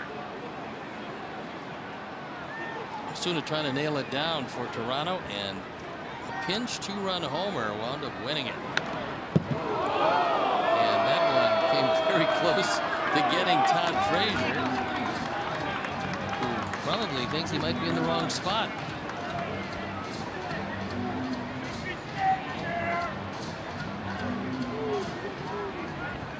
On deck circle sometimes gets a little busy.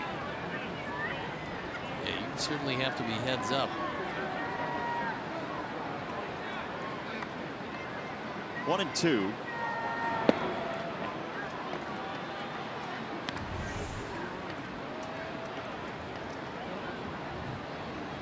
Yeah, that'll get your heart started, pumping a little bit more.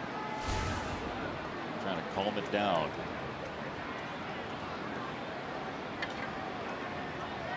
Two and two. Eaton at third, Anderson at second. And that's ball three on Morneau with Frazier coming next.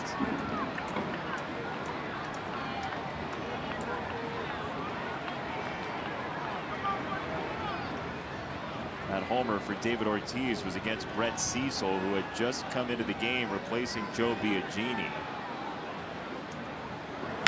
3-2 on the ground back to light. And that'll do it. Sox leave two. After six, 7-3, the Sox the lead.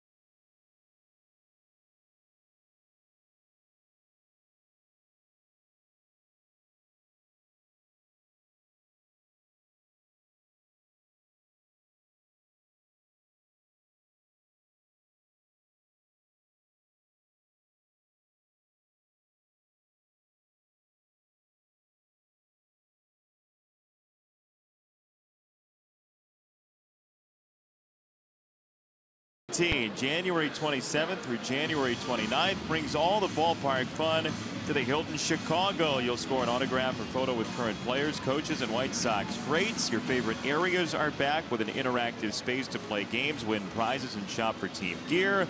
It'll be a weekend of White Sox baseball that you won't want to miss. We get a new pitcher in the ball game, so the night is done for Carlos Rodon. He went six innings, gave up three runs, two earned on three hits, Three walks, 10 strikeouts. On for the 24th time is Chris Beck. He's 2 and 2. His ERA up close to 7. There you look at the numbers. And he's got a four run lead to protect with the bottom part of the order coming up.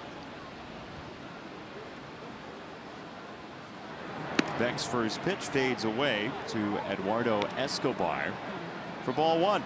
By the way, the Bostons now have a two run lead over Toronto, five to three, in what would be a crushing loss for the Blue Jays.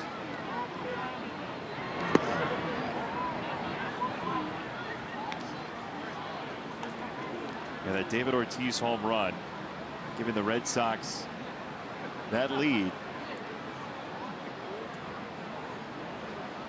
That after an earlier Jose Bautista home run off of Rick Porcello for the Blue Jays. Now 3 0 from Beck.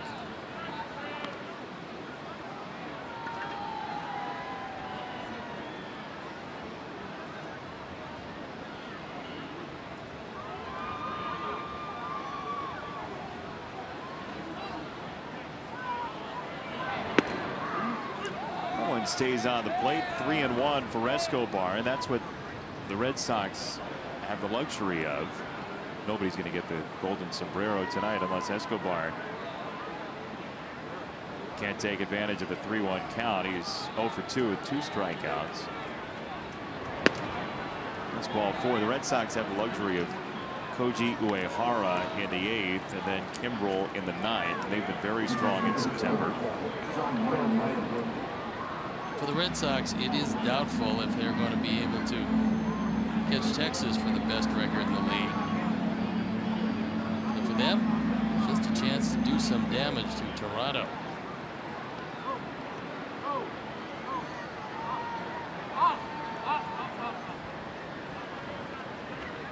One on for John Ryan Murphy, the catcher. was 0 for 2 with a strikeout looking at a flyout. Ball number one. Nate Jones throwing in the pin as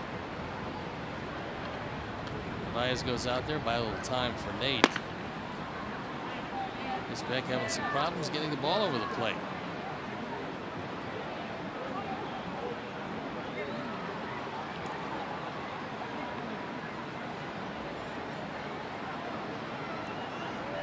Six pitches, five out of his own for Beck so far.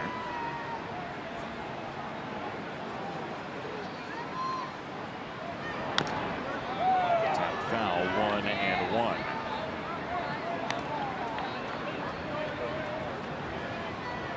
In the National League race, the Giants and Dodgers are just underway. 6 0 St. Louis over Pittsburgh, home seventh inning in St. Louis. And the Mets have won tonight, 5 to 1.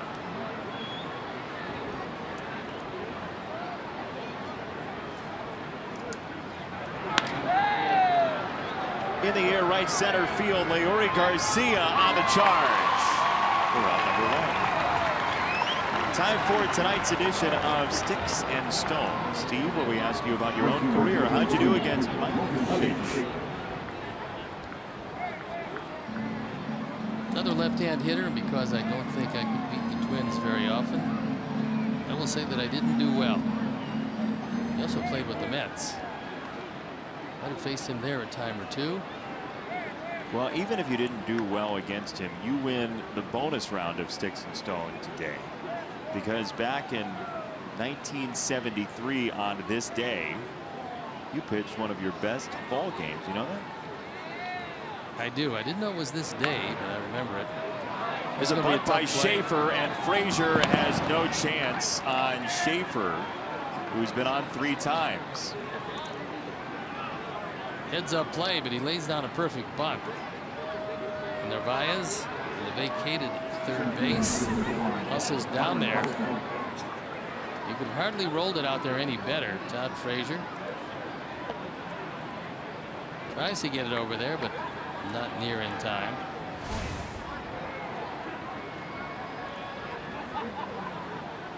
Yeah, back in 1973, nine innings, three hits, 12 strikeouts for one Steve Stone. And fortunately, it was on the road. So we were able to score in the 10th. And then Cy Acosta kindly came on, pitched the 10th inning. And that was that. One to nothing win. Buxton in the air left field. Melky on the move into foul ground. It should be stated that without that win, which was a huge win, I wouldn't have been able to go 6 and 11. Well, coverage was four out of seven Yeah, against but I told you I didn't do well. Another left-hand hitter. I, hated left-hand hitters. So, but his OPS, fortunately, was just 1339. Yeah, tiny. Yeah.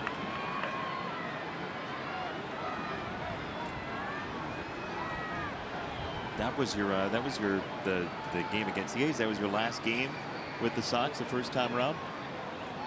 Yes, I was traded that winter, along with a few other folks, to the Chicago Cubs in exchange for Ron Santo in a trade that I've described many times as a trade that hurt both teams. Mutual detriment. Ron came over, played just one more year before he retired. I was a 20 game winner with the Cubs, but it took me three years. That wasn't too good. 0-1. Swing and a miss by Dozier. Two strikes from Beck to Dozier here in the seventh inning. I was able to come back over here in the first free agent year to a very exciting White Sox team, the Southside Hitmen. That was entertaining. We had the lead for four and a half months before Kansas City, a really good team, finally ran us down. The Southside Hitmen, very well known in White Sox lore. Beck strikes out Dozier and retires the side. To stretch time we go. It's 7-3 Sox.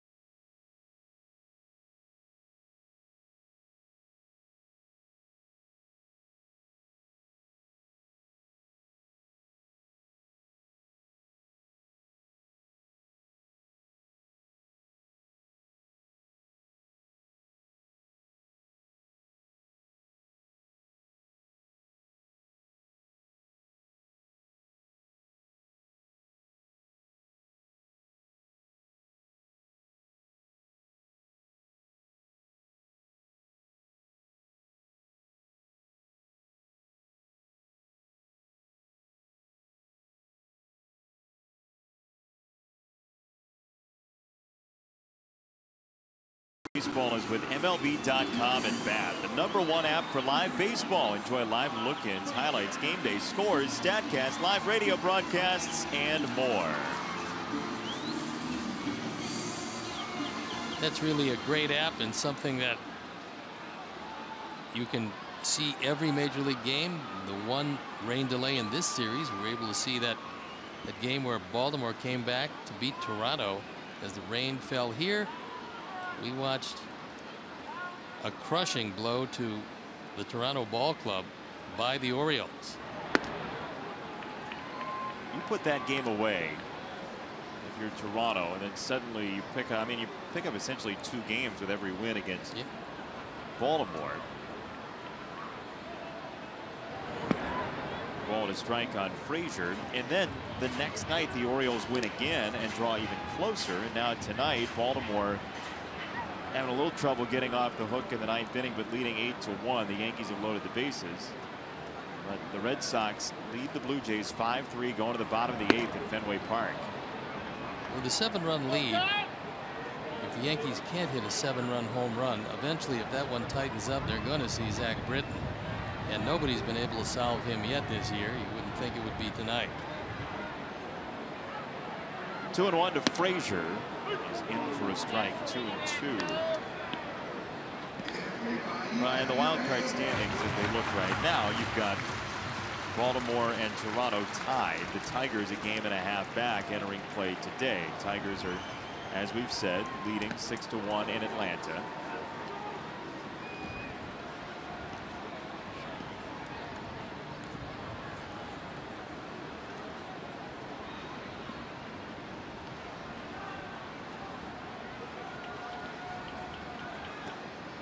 Got to be careful on these heaters up here. There's strike three. Frazier goes down swinging. What did you do? I burned my shoe. No, you didn't. Yeah, I did. Come on. Yeah, it's hard to believe, but thought we were. Here, can we? Thought I had you folks want to see this? Give me the shoe. I want to show it to the folks at home. We're gonna have You to call the, the fire department for a second. Gosh.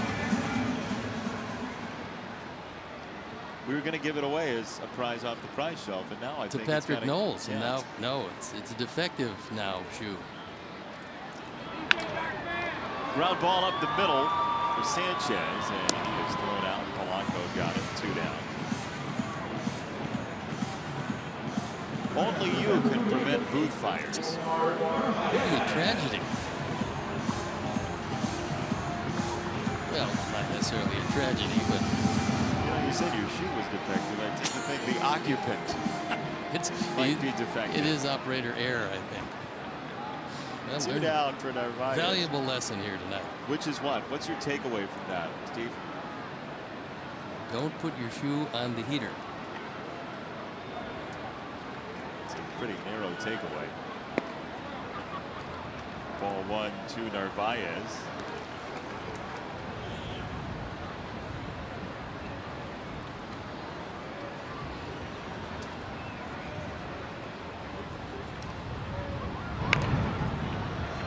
Another visit to the on deck circle. Garcia that time couldn't pluck it. Omar is always going to remember this night for a leadoff home run in the fourth inning. Into the bullpen, his first major league home run. It's been a year of first for Omar, who's done a really nice job since coming up. Alex Avila got hurt. Omar has had an opportunity to show what he can do, and he's been very steady.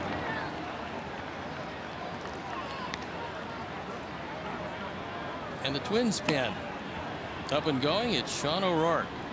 His brother Ryan, actually. Oh, it's Ryan O'Rourke. Wow.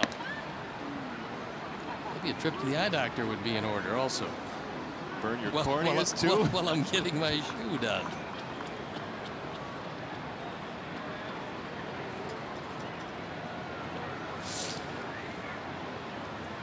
Three and one. On the ground, second base. We have perfected the self hot foot for more tricks of the trade. Join us in the eighth. 7-3 the Sox.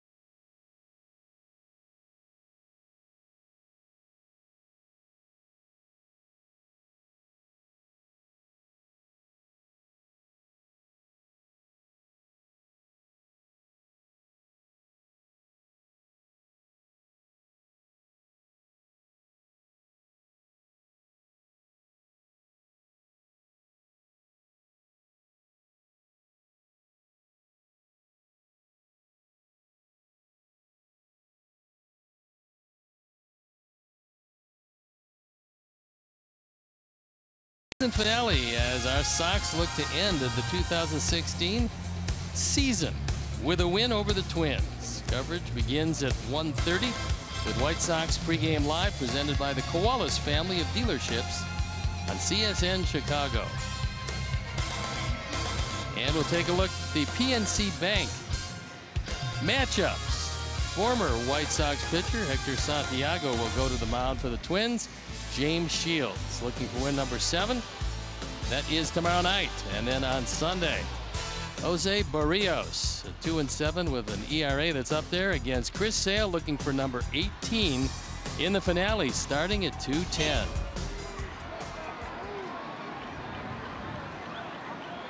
Two games remaining after tonight in the 2016 season. Jorge Polanco leads off the eighth and takes ball number one. Jason Benetti, Steve Stone along with you, our entire crew. Thanks for joining us not only tonight but throughout this 2016 year. We've enjoyed your company all year long. Tag to center field on a 1-0. It's a base hit for Polanco, who's got two straight hits. It's a big day in baseball history. What did happen as we look back? Final game at Old Comiskey. Sox beat the Mariners 2-1 back in 1990. I like that ballpark. You did? Yeah, it's kind of nice. Great park to pitch in, by the way. Was too young to remember much of it, but I was there a couple times. Yeah, certainly. very nice.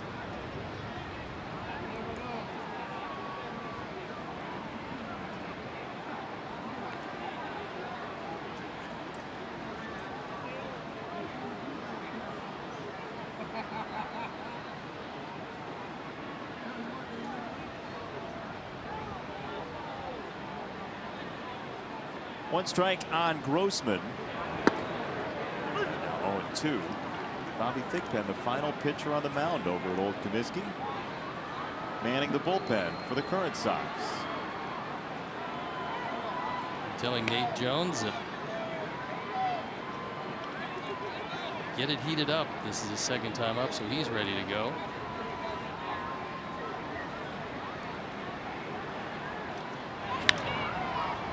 Floated to left. Melky on the run, and that bounces fair for Robbie Grossman. Polanco to second and back.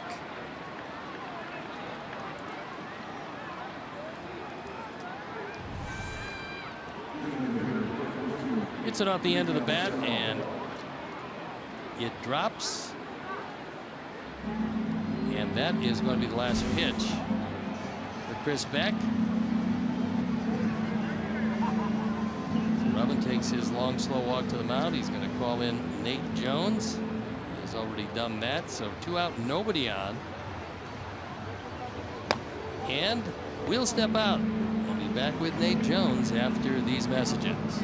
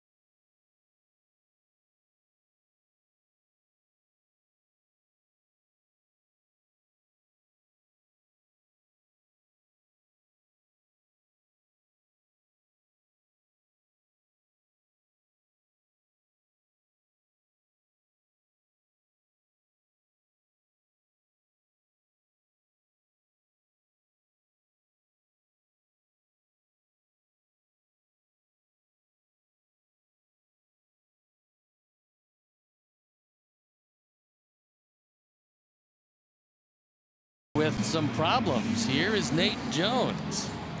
He comes out for the 71st time. It's been just a great year for Nate. His ERA at 233, his record 5 and 3. 80 strikeouts and 69 and two thirds. He's got to go through a couple of power hitters and Sano and Vargas and then Escobar. Unless one of these gentlemen will kindly ground into a double play as Vargas did to end the sixth inning. Wouldn't that be chivalrous of one of these twins? A double play.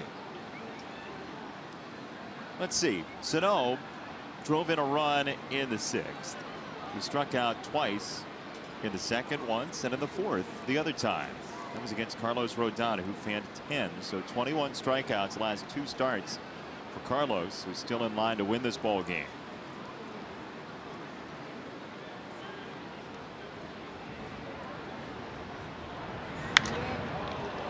Towering fly ball right field. Eaton is back at the wall, and this ball is foul.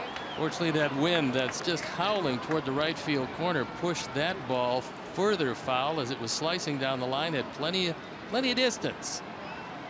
Fortunately, foul. That would have made it terribly uncomfortable. Sano with enormous power Not particularly good direction that time. A long,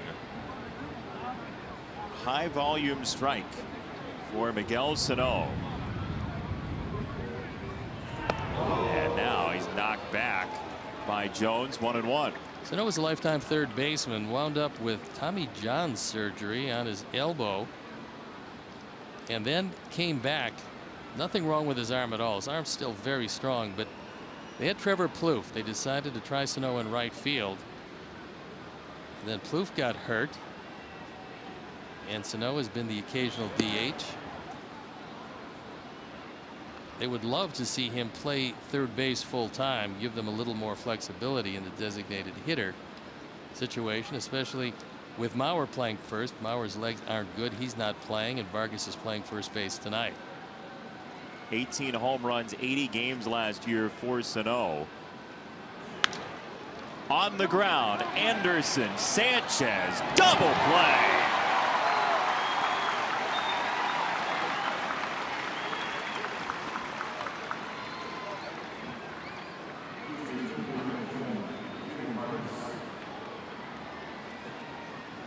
There is that bouncing ball. Yeah, pretty good pitch. This ball outside off the plate. Sano tries to pull it, and it's very easy after that.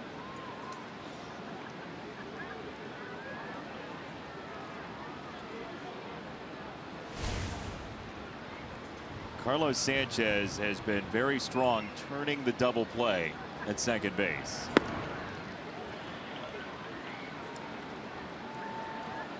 Three double plays tonight for the Sox defense. Now Vargas can't hurt you nearly as much.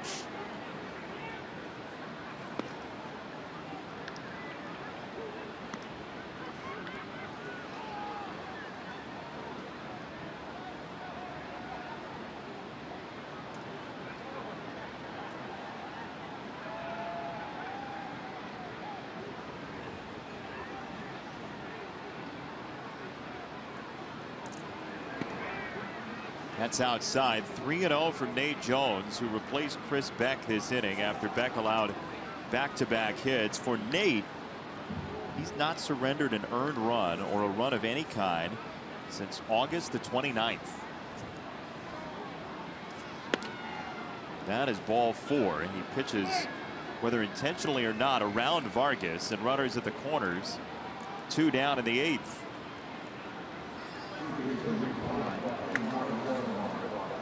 It's up to Escobar, who's over 2, couple of strikeouts and a walk, no contact yet tonight.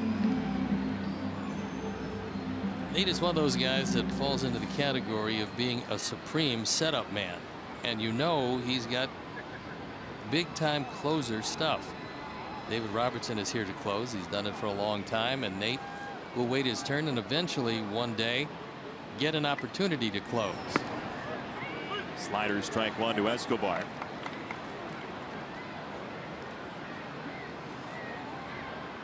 And you'd have to think when he got his opportunity, stuff's good enough for him to be very successful in that role. And generally, seemingly, and you don't know until you're thrust into the role, but seemingly a level-headed guy who's not going to go crazy after a blown save. There really is no apparent reason why some guys thrive in that role and others don't.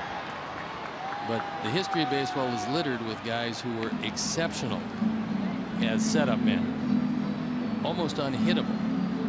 And then because they have a safety net, that safety net being the closer, they are thrust into a situation where they are the guy now, and there is no safety net. And some guys thrive, and other guys just can't do it. And you never know what it is until you get a chance to do the job. First base, Abreu. Inning over. Two left on. Nate Jones does the trick once again. 7-3 Sox.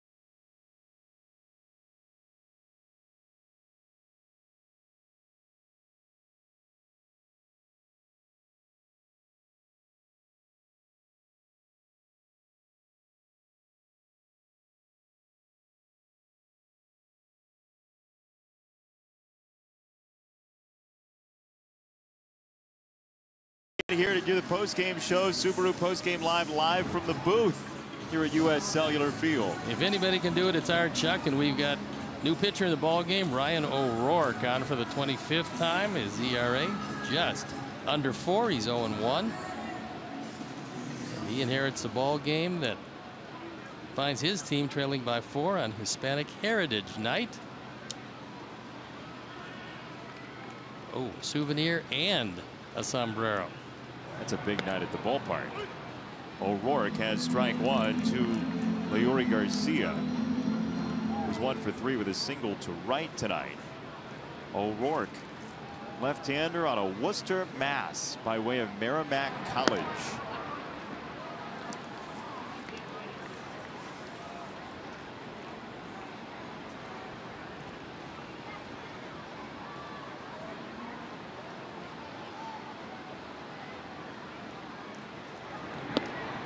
Two on Garcia. Mentioned today being an important day in baseball history. It was also the debut of Sam Malone on your television screen. Cheers premiered this day in 1982. May Day brought into our hearts. And down goes Garcia one away. And it was May Day earlier in the booth. Steve Stone had his foot on our space heater, and if you could see, there's uh, there's a little bit of fire damage on the shoe. You had your you had your foot on the heater. And for all you youngsters out there, that's a lesson in life. If you have a space heater, don't put your shoe on it if the sole is rubber. If you do and leave it there long enough, It will stick to the heater and eventually melt, but you'll know that it's there as the heat starts to build up. Yeah, you know, That's it. you learn something new every day. Every, don't you? every The look on your face was priceless. Well, it was startling, actually. Yes, not a great thing, but certainly a lesson learned. Wear leather shoes. Bill Melton will join us in the booth shortly. Steve still Melton.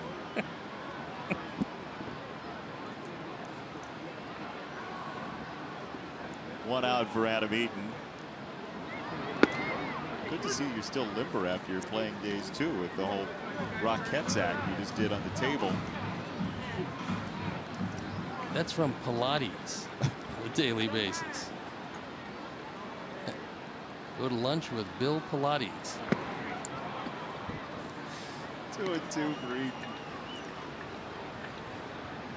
Uh, We need to get you that hat too. that is a good looking hat. How do the lights work there? Battery operated?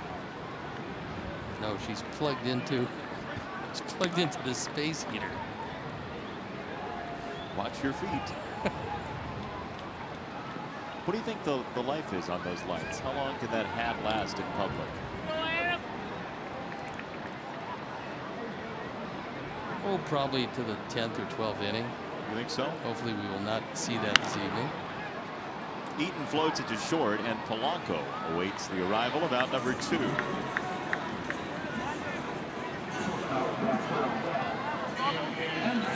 Two down for Tim Anderson, who is a double away from his first career cycle.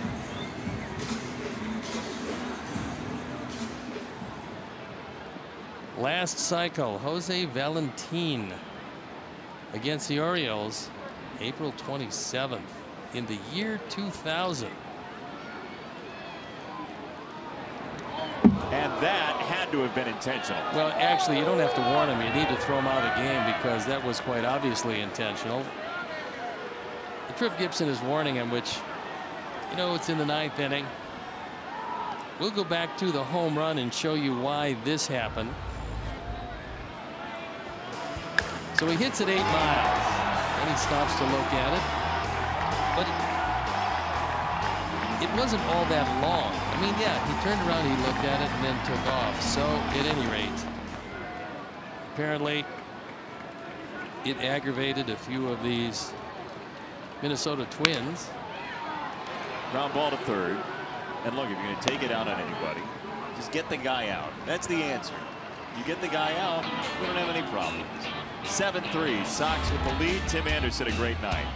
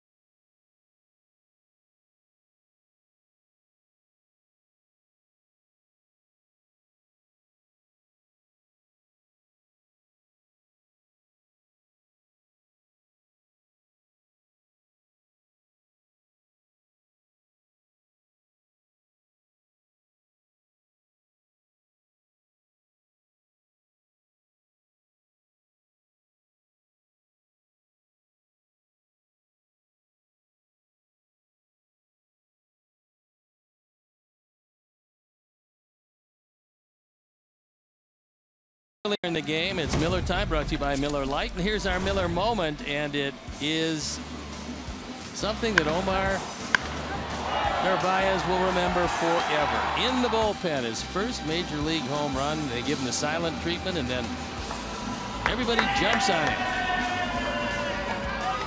Give him some noogies. There you go. Beat on him for a bit. He'll take it. He'll take it indeed. And Tommy Kahnle comes in the ball game. It's a four-run game.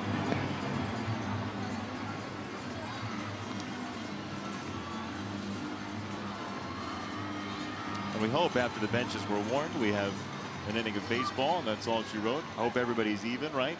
Anderson, the home run. The Twins didn't like it. Throw behind him once, and then we can play on. We'll, see. We'll, we'll see. John Ryan Murphy, Logan Schafer, Byron Buxton to bat.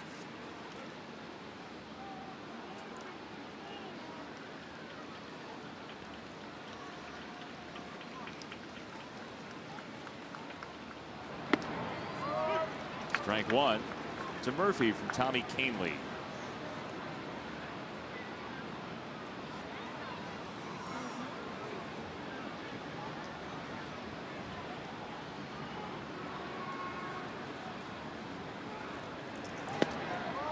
0-2.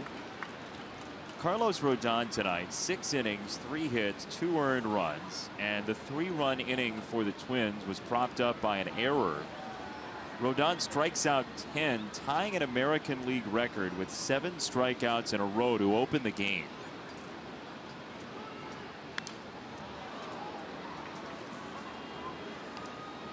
He's in line to win game number nine, making him 9 and 10 for the year. Last year he was 3 over 500. This year, if this one holds up, and you would assume that it would, He'd be one under. Had that dugout injury that cost him a couple of weeks. Yeah, he's got a chance to be very much of a top of the rotation starter.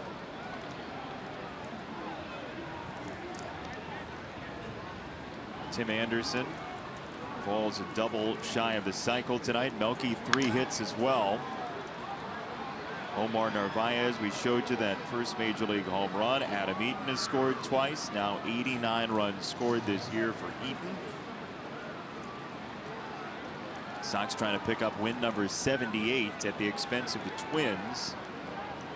Who have lost 9 of 11 coming in.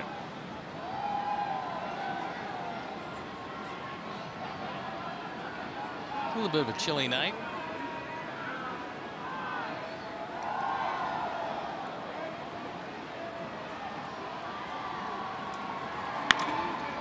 to short. Anderson plants and guns down Murphy.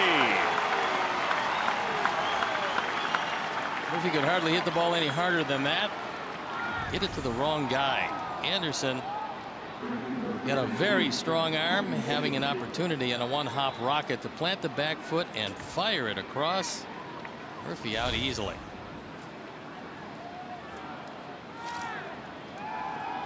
Tim Anderson has shown the range at shortstop. He's shown the arm at shortstop, and he's shown the ability to make low probability plays.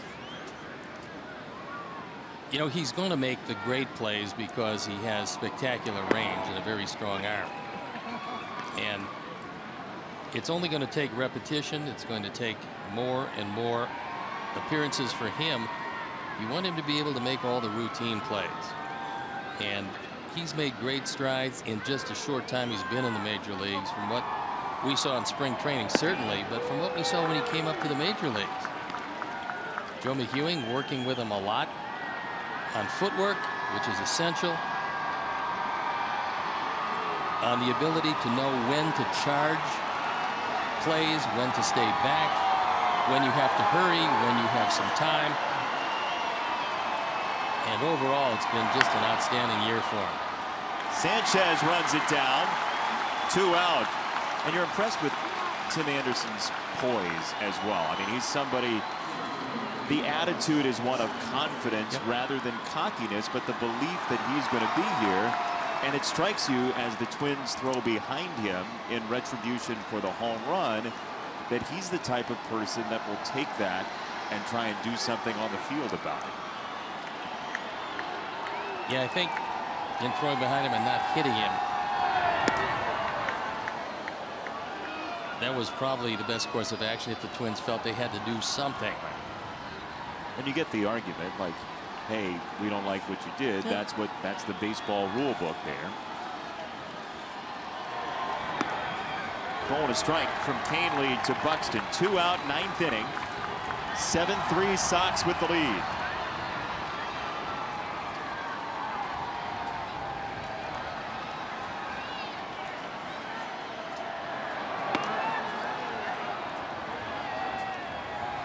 Two and one to Buxton.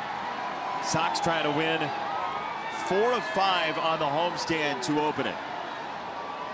They go 12 and 5 for the year against the Twins. Two and two on Buxton.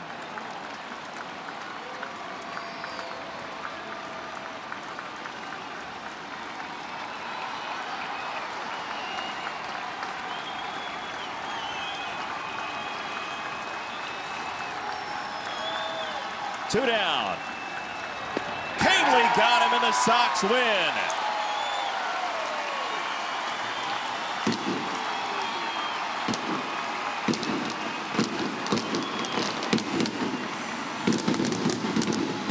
And a nice job.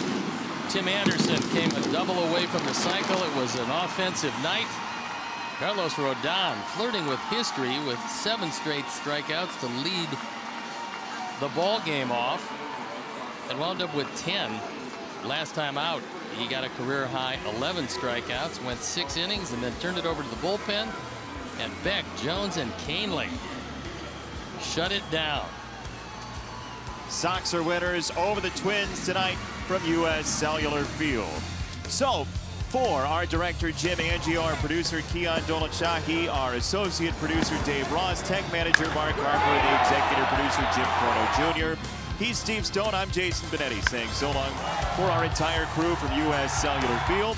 Coming up next, Subaru postgame live with Chuck and Bill. They're in the booth. They're ready to go. You're watching Chicago White Sox baseball on Comcast Sportsnet.